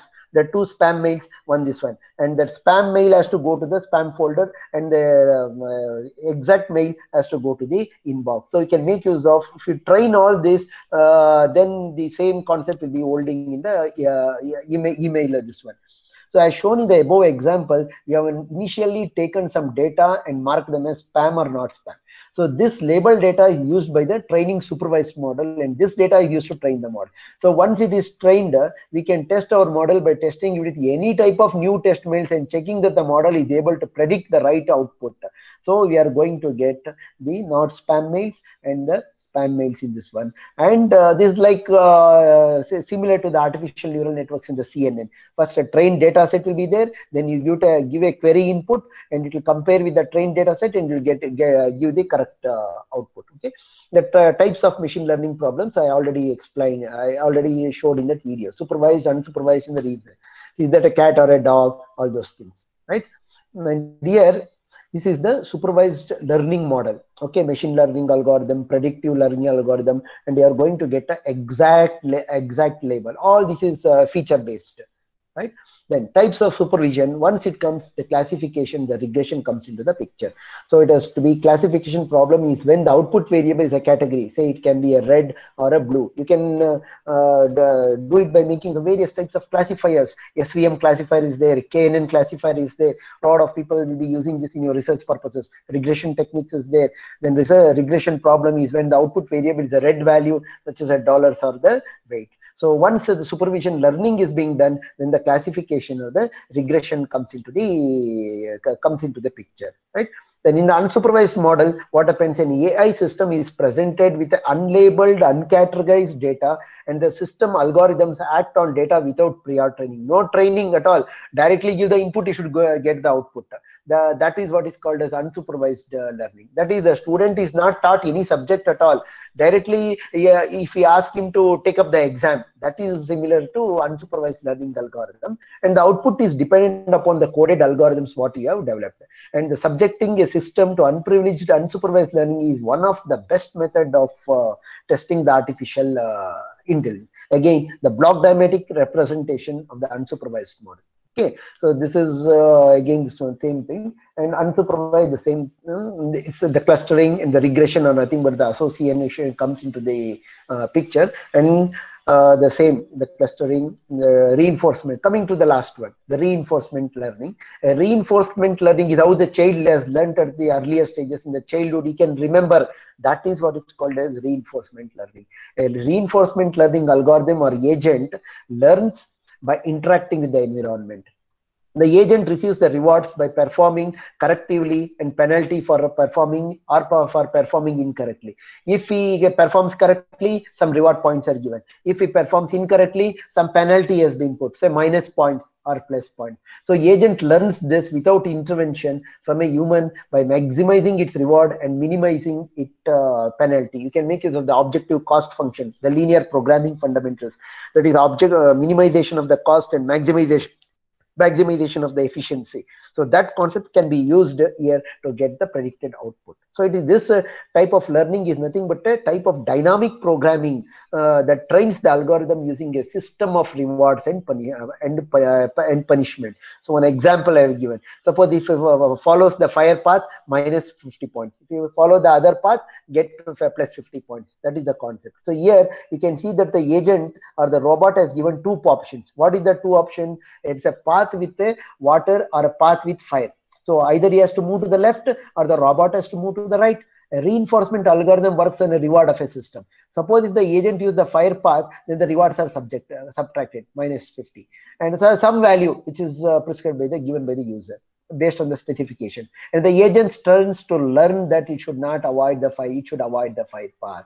It should not go near the fire, it should not take that route, otherwise the parts will get uh, burned.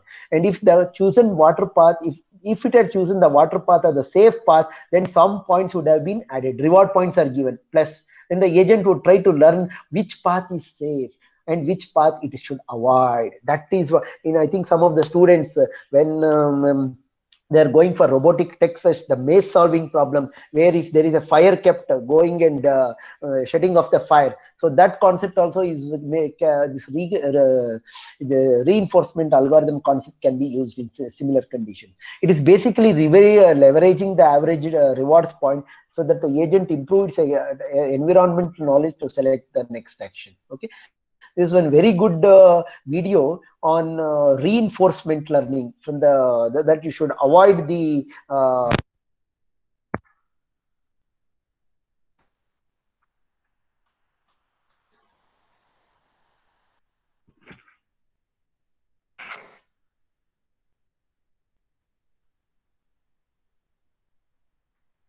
you can see that there is a camera and this learns by itself this learns by itself it has to place a cube one cube above other cube other cube other cube. So first uh, it is a fully autonomous learning to build a tower of blocks. So it takes around 30 trials so many number of trials.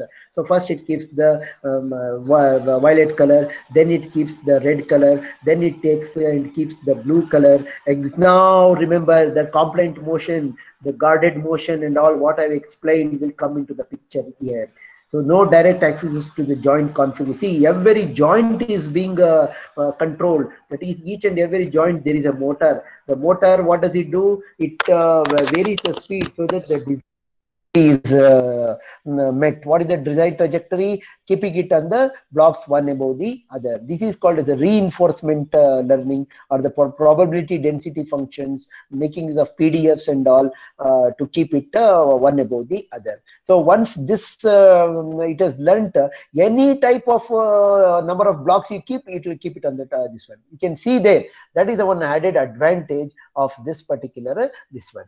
So, what are the steps to solve a machine learning problem? One is data gathering, collect data from various sources. This can be a data set. If you are doing image processing uh, research, first you have to take the data set from the online, from the hospitals, etc. Then the data pre-processing, clean the data, remove the noises, etc. Pre-processing, segmentation, histogram, equalization, enhancement, all those things will come into the picture. Feature engineering, extraction of the features, the feature extraction will come into the picture. So making your data more useful, algorithm selection and training. It may be ANN, CNN or SVM or any type of algorithm. Select the right machine learning algorithm and get the output making the prediction and evaluate the model and the task is being solved. What is the task? Robot task planning. So data gathering first, then the data pre-processing, then the feature engineering, similar to uh, um, feature extraction, right?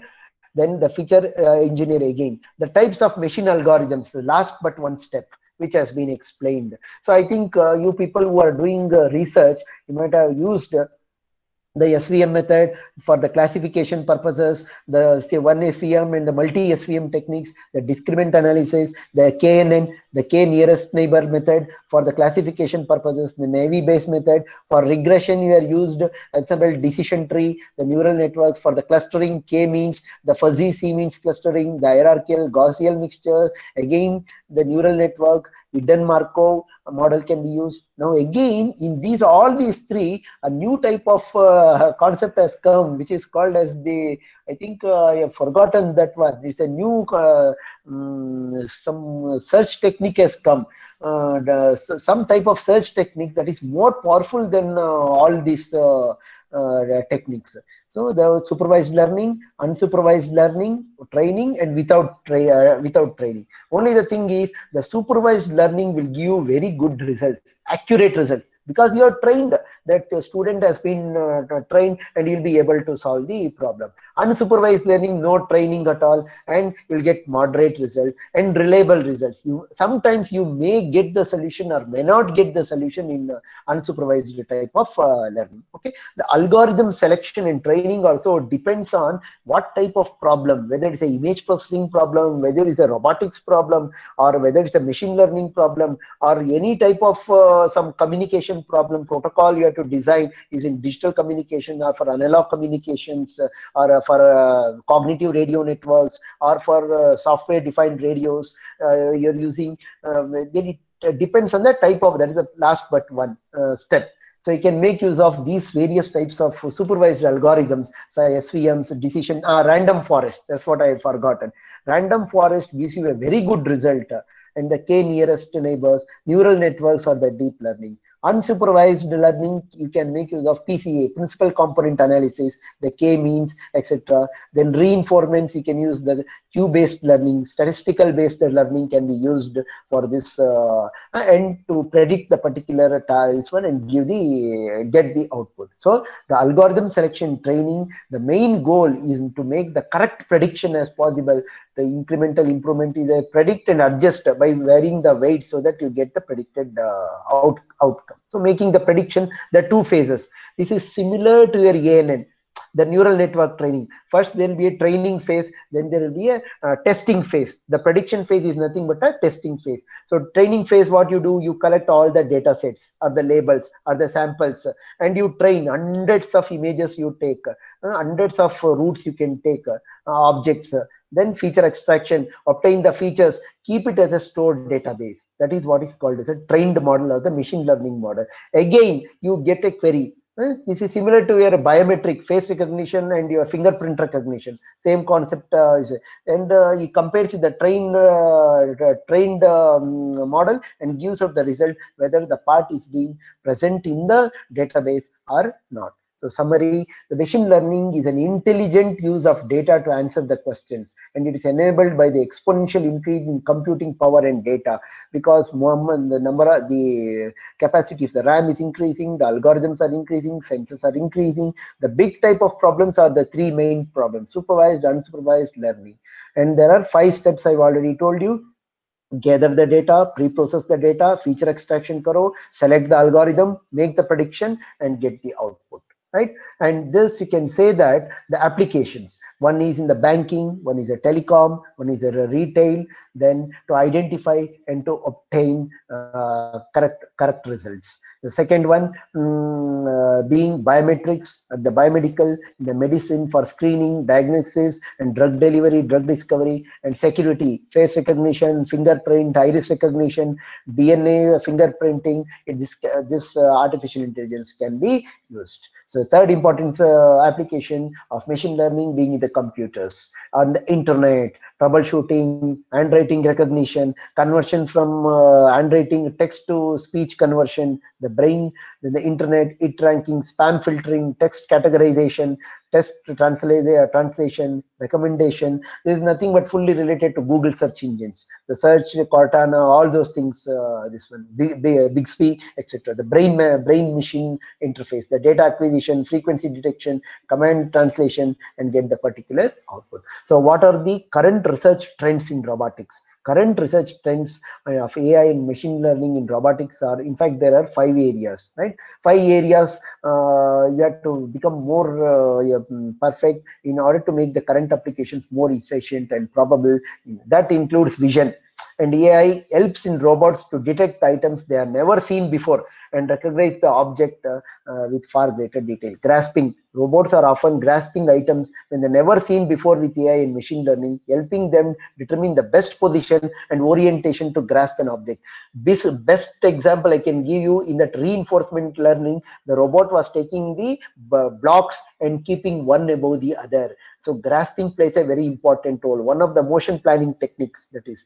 Then motion control. The motion planning uh, are nothing but the motion control. Each and every joint has to be controlled. You cannot move at a faster rate. If you move at a faster rate, then you will overshoot the destination and you will not, uh, and the positioning will be inaccurate. So machine learning helps the robot with the dynamics the robot dynamics comes into the picture. The kinematics and the kinematics will come into the picture. And you should obstacle avoiding has to be done in order to reach the goal or keep the block on the uh, block one above the other. Data is needed very much. AI and machine learning both helps the robot understand physical and logical data to proactive and act accordingly. Supply chain logistics, like example, this uh, best is Uber and uh, this can be used uh, this one okay and deep learning in robotics this deep learning in an application of uh, machine learning machine learning is an application of artificial intelligence. So what is this deep learning? It is a part of a broader family of machine learning methods. It is based on ann with representation learning and it can be of any three types. And it is a subset of ml in AI and that is network capable of learning unsupervised from the data that is unstructured or labeled. So deep neural networks are they also called as, you can also be called as deep neural networks. It is a machine learning technique, a type of machine learning techniques in the brain, similar to the neural and uh, similar to the uh, natural intelligence and artificial intelligence. So this new deep learning technique teaches a computer to filter the inputs through layers to learn how to predict and classify the information. For example, if you take the ANN, there will be number of, there will be an input layer, there will be an output layer, and there will be number of hidden layers. The more number of hidden layers, the more training will be done. That is the meaning of that uh, filter the inputs to different layers using ANNs in the CNN. And the observation can be in the form of images, text, or sound. And the inspiration for this uh, deep learning is the way the human brain filters the information right? This one very beautiful video which has been um, uh, developed using the concept of uh, what is called as uh, deep learning. Just see how identically the systems are being uh, doing the work. So it takes the see the, task planning, the motion planning will come into the picture. That is the grasp planning, the gross motion planning, the fine motion planning, all the parts will come into the picture. You can see there, it is taking everything, keep sitting another uh, this one. So this is what is called as the machine intelligence or nothing but uh, deep learning or algorithms what you are writing so that it will do uh, it will do a specific job. And this is one of the project which was being done at IIT Guwahati uh, by one of our group of students. They had gone for internships. You can see it's a very nice project which has been done so that the robot what it is doing is it will uh, there is a pipe. Uh, there's a pipe which takes the the brings it to the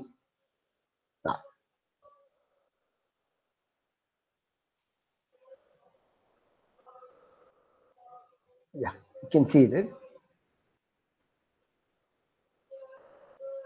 And there is a pipe so all the robots are standing. The task one task is to move the stick, hold it, and bring it to the destination. And by avoiding the obstacle, there's an obstacle in between. So it has to lift, circumvent the obstacle, move above the obstacle, and it has to come to the destination. You can see that this is the task. It is kept in this one, and be moving. As soon as the touch sensor perception uh, that's what is called as perception. Attached to the robots it's the sticks the robot stopped. Like how we uh, when we uh, pick up a particular object a duster or something we stop further gripping because our skin fingers uh, feels that we have touched the object. The same concept machine learning has to be incorporated in the machines. Yeah it is lifting and all the four robots lift the stick and it is going towards the destination um, uh, that, is the source to the destination. Move forward with the stick avoiding the obstacle. So the sensors will be in such a way that the distance in between the um, uh, the distance from the obstacle to the pipe is lessened. Yeah. And it is coming to the this one and it reaches the destination and keeps the pipe. So put the stick down. So that is the source. This is the destination. Right? Now, the last part is what is called as a multi-agent learning, working in groups. Multi-agent learning is the use of machine learning in a multi-agent system.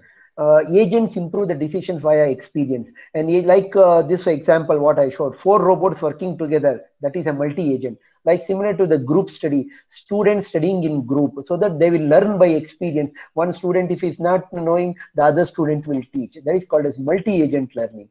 So an agent learn has to learn how to coordinate with other agents. Best is the project work. So four students will be in a project work.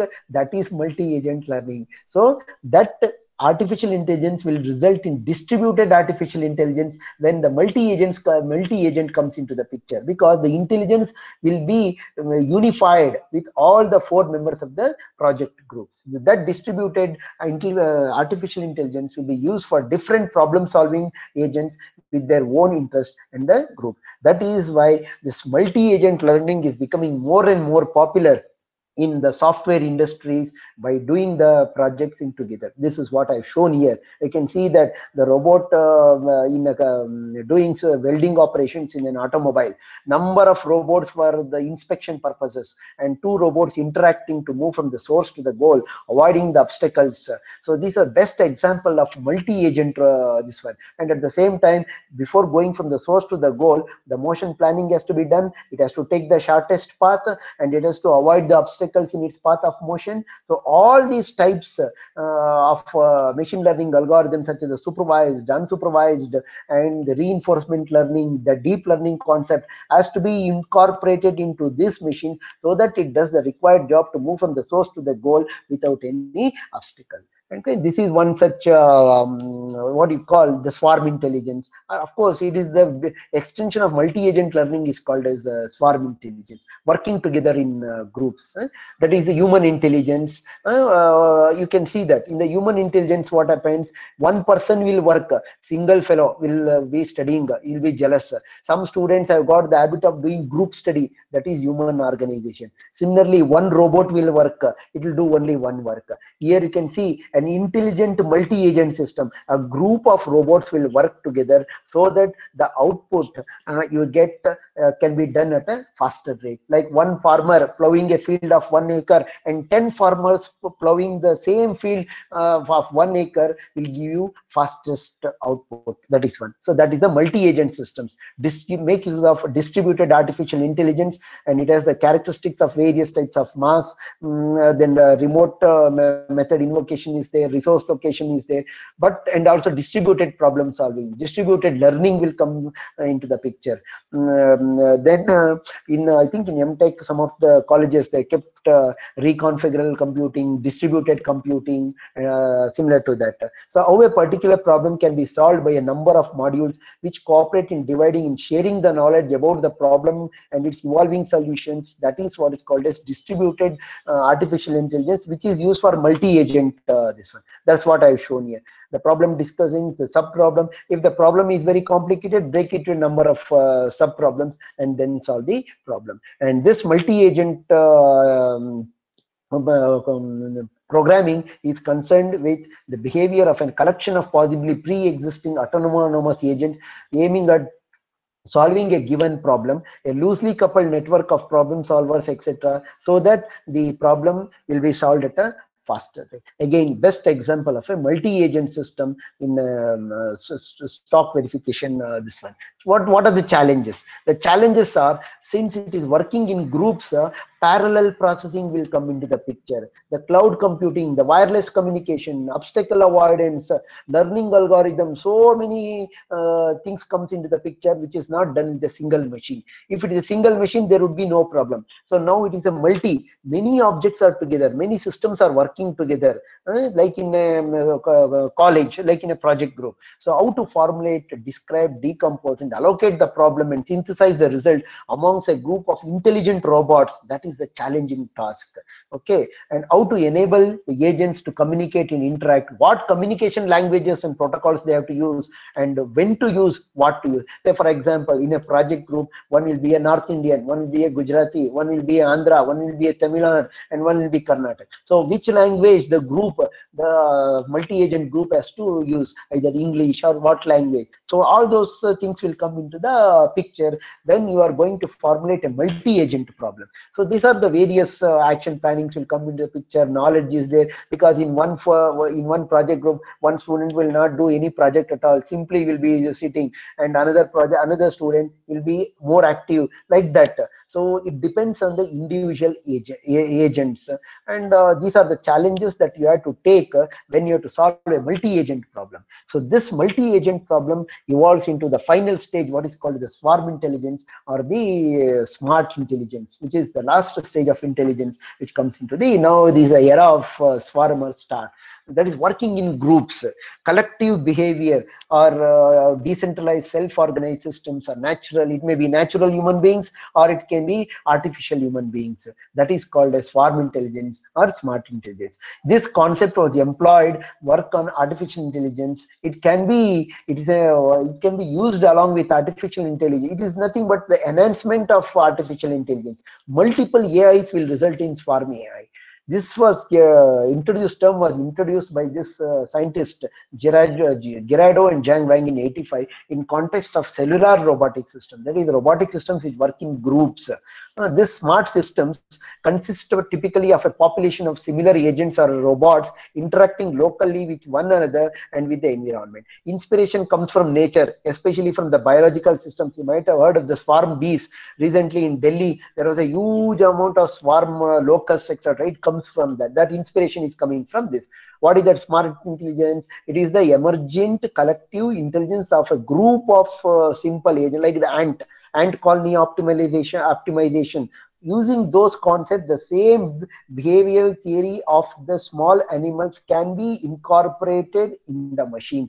Take for example this ant.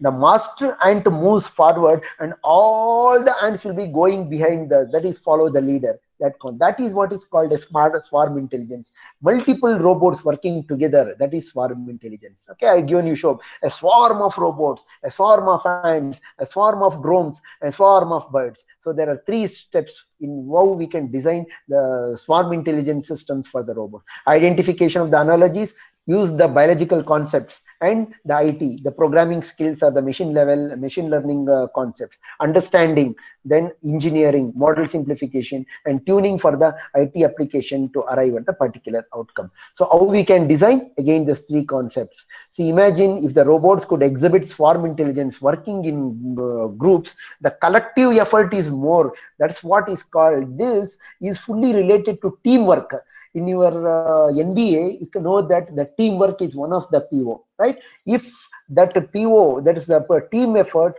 also fetches you good marks, okay, good uh, outcomes. Outcomes. Similarly, if the robots, thousands of robots users uh, uh, together as a swarm uh, can do the work, and that increases the artificial intelligence as a result of which swarm intelligence comes into the picture. So last one, is what is called as imitation learning learning by himself. Okay? That is um, uh, the given is a demonstrator. The goal is to train a policy of mimic domain.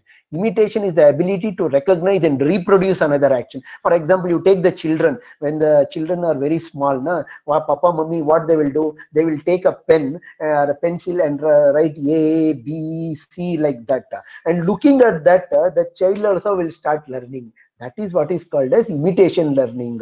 So imitation learning is a means of learning and developing new skills from observing these skills performed by another agent, that is the father or the mother. So that is what I am showing here. Imitation learning. The person will uh, raise his hand. Looking at the hand, the robot also raises his hands by making use of this is what is called as a master slave programming that concepts can be made use of in the imitation learning okay? So why should you care? Because the one of the advantage of imitation learning is uh, there is no need of programming. Just by movement only the robot learns uh, and all these tasks will be saved in the memory and it playback that's why it is called as a playback uh, robots also. Here you can see the robot is performing an imitation learning. Now what the human being is doing is taking his hand and keeping the object from 1 to 2 position number 1 to 2 so when he's moving from 1 to 2 the path or the trajectory goes on changing. Okay and what is the robot doing? Using image processing concepts and the computer vision ai concept and it is seeing how the person is doing. So it is imitating the same thing. So that is what is called as imitation learning okay Andy invention. So this is what is called as the prosthetic hand so the master and the slave. The master is there. What is the master is doing is moving his fingers in and out. The moment he moves in and out the robot also moves his finger in and out. Because from the human hand a chain of optic nerve fibers are being connected to the artificial hand. So that when the human being is moving his hand all the reflexes will be saved uh, uh, connected to the artificial and that also will be performing the finger movement and it is storing. So this is what is called as the master slave programming right?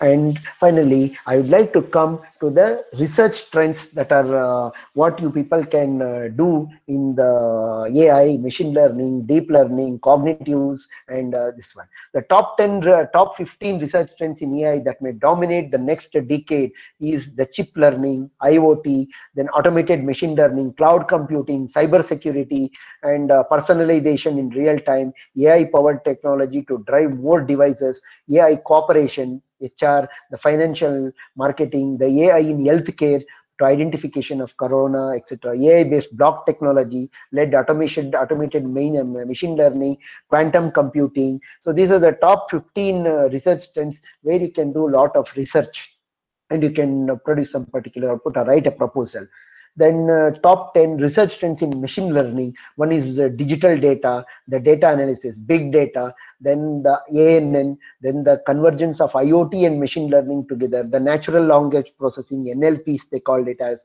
for the customer supports the voice recognition the face recognition healthcare the computer vision the video surveillance the social media online technical support. Now the online courses what the faculties are doing that was the best method. See earlier last year if you have seen that the online classes that much uh, importance was not at all given. See how the technology has improved from zoom webex google meet so many uh, concepts of ai machine learning has been used. Voice processing video uh, voice over internet protocol. So all these are top machine learning trends where you can do a lot of research.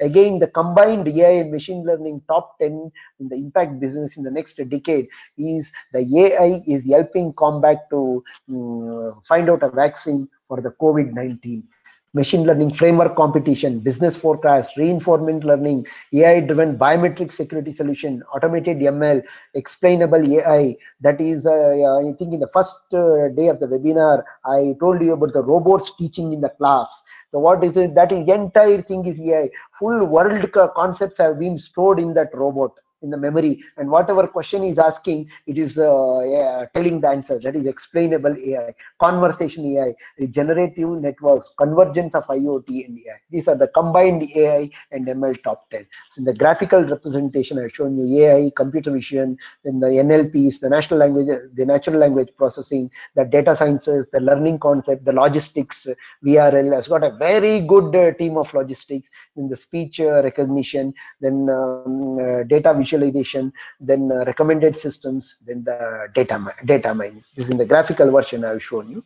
In the future of the intelligent or the smart machines to conclude the robotic engineers are designing the next generation of robot to look feel and act like humans exact replica of the human dance like humans do gymnastics that much flexibility and to make it easier for us to warm up and to a cold machine. Just sit in your place. The robot will come do its work uh, and do the cooking open the, um, uh, um, bureau sorry open the door get the paper etc exact do the kitchen work. All those things can be done. In fact lot of ai machine learning data sciences etc is being incorporated in the japanese. You can see in majority of the japanese homes all the kitchen work is done by robot itself yesterday also i showed you in boston dynamics a robot takes a cup and puts it in the bin. So the reality looking air and skin with embedded sensors will allow robot to react naturally in the environment. For example if we touch our human hand or something we feel that sensitivity. But the robot has not got that sensitivity. Biosynthetic material is being uh, designed now. Biosynthetic material.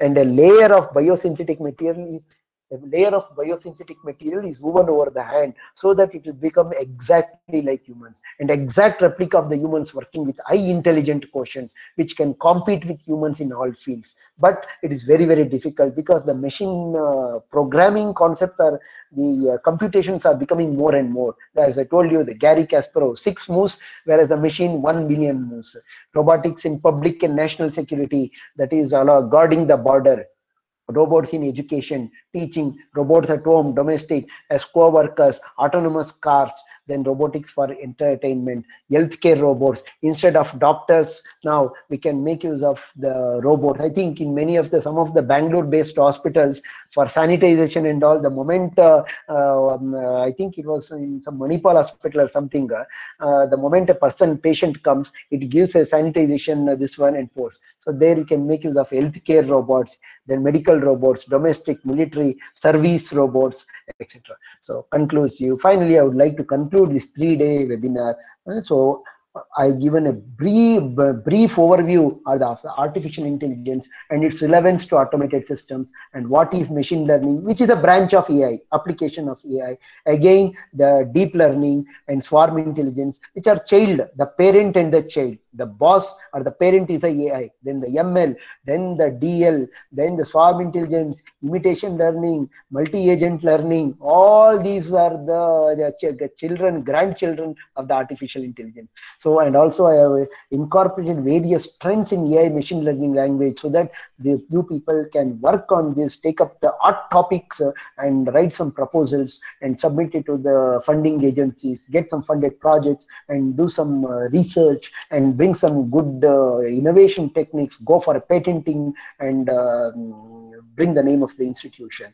And this is the future of the robotic machines, which is very helpful to the society. Thank you all, my dear participants, and the entire team of Vidyavardhaka College of Engineering, headed by the HOD and the principal, and his entire team for giving me a three-day webinar for uh, making this AI machine learning from the macro to the micro into the nano robot, nano stage. Thank you, one and all. Over to the uh, team. Sir, thank you, sir. Thank you very much. And Thank first and foremost, uh, sir, this is uh, CM Patil, uh, heading the Department of uh, E&C from Vidyavardhaka College of Engineering. Thank you. Sir, thank you very much. It was Thank very, Thank you very much. Thank you very much. uh, sir, it was very interesting, informative, and also impressive also, sir. The way you present the recent hot topics and uh, the content-wise, uh, like robotics, AI, and ML, and uh, uh, live videos, audio, it was extraordinary, sir. Yeah. Thank you. Thank you very much. Thank you very much. So thank you, thank you very much. Uh, we seek your cooperation for future events also, sir. Oh, thank you very much. Thank you. Thank you, one and all. Thank you, one and all. Thank you, sir. Thank you very much, sir. Right. Right. Bye.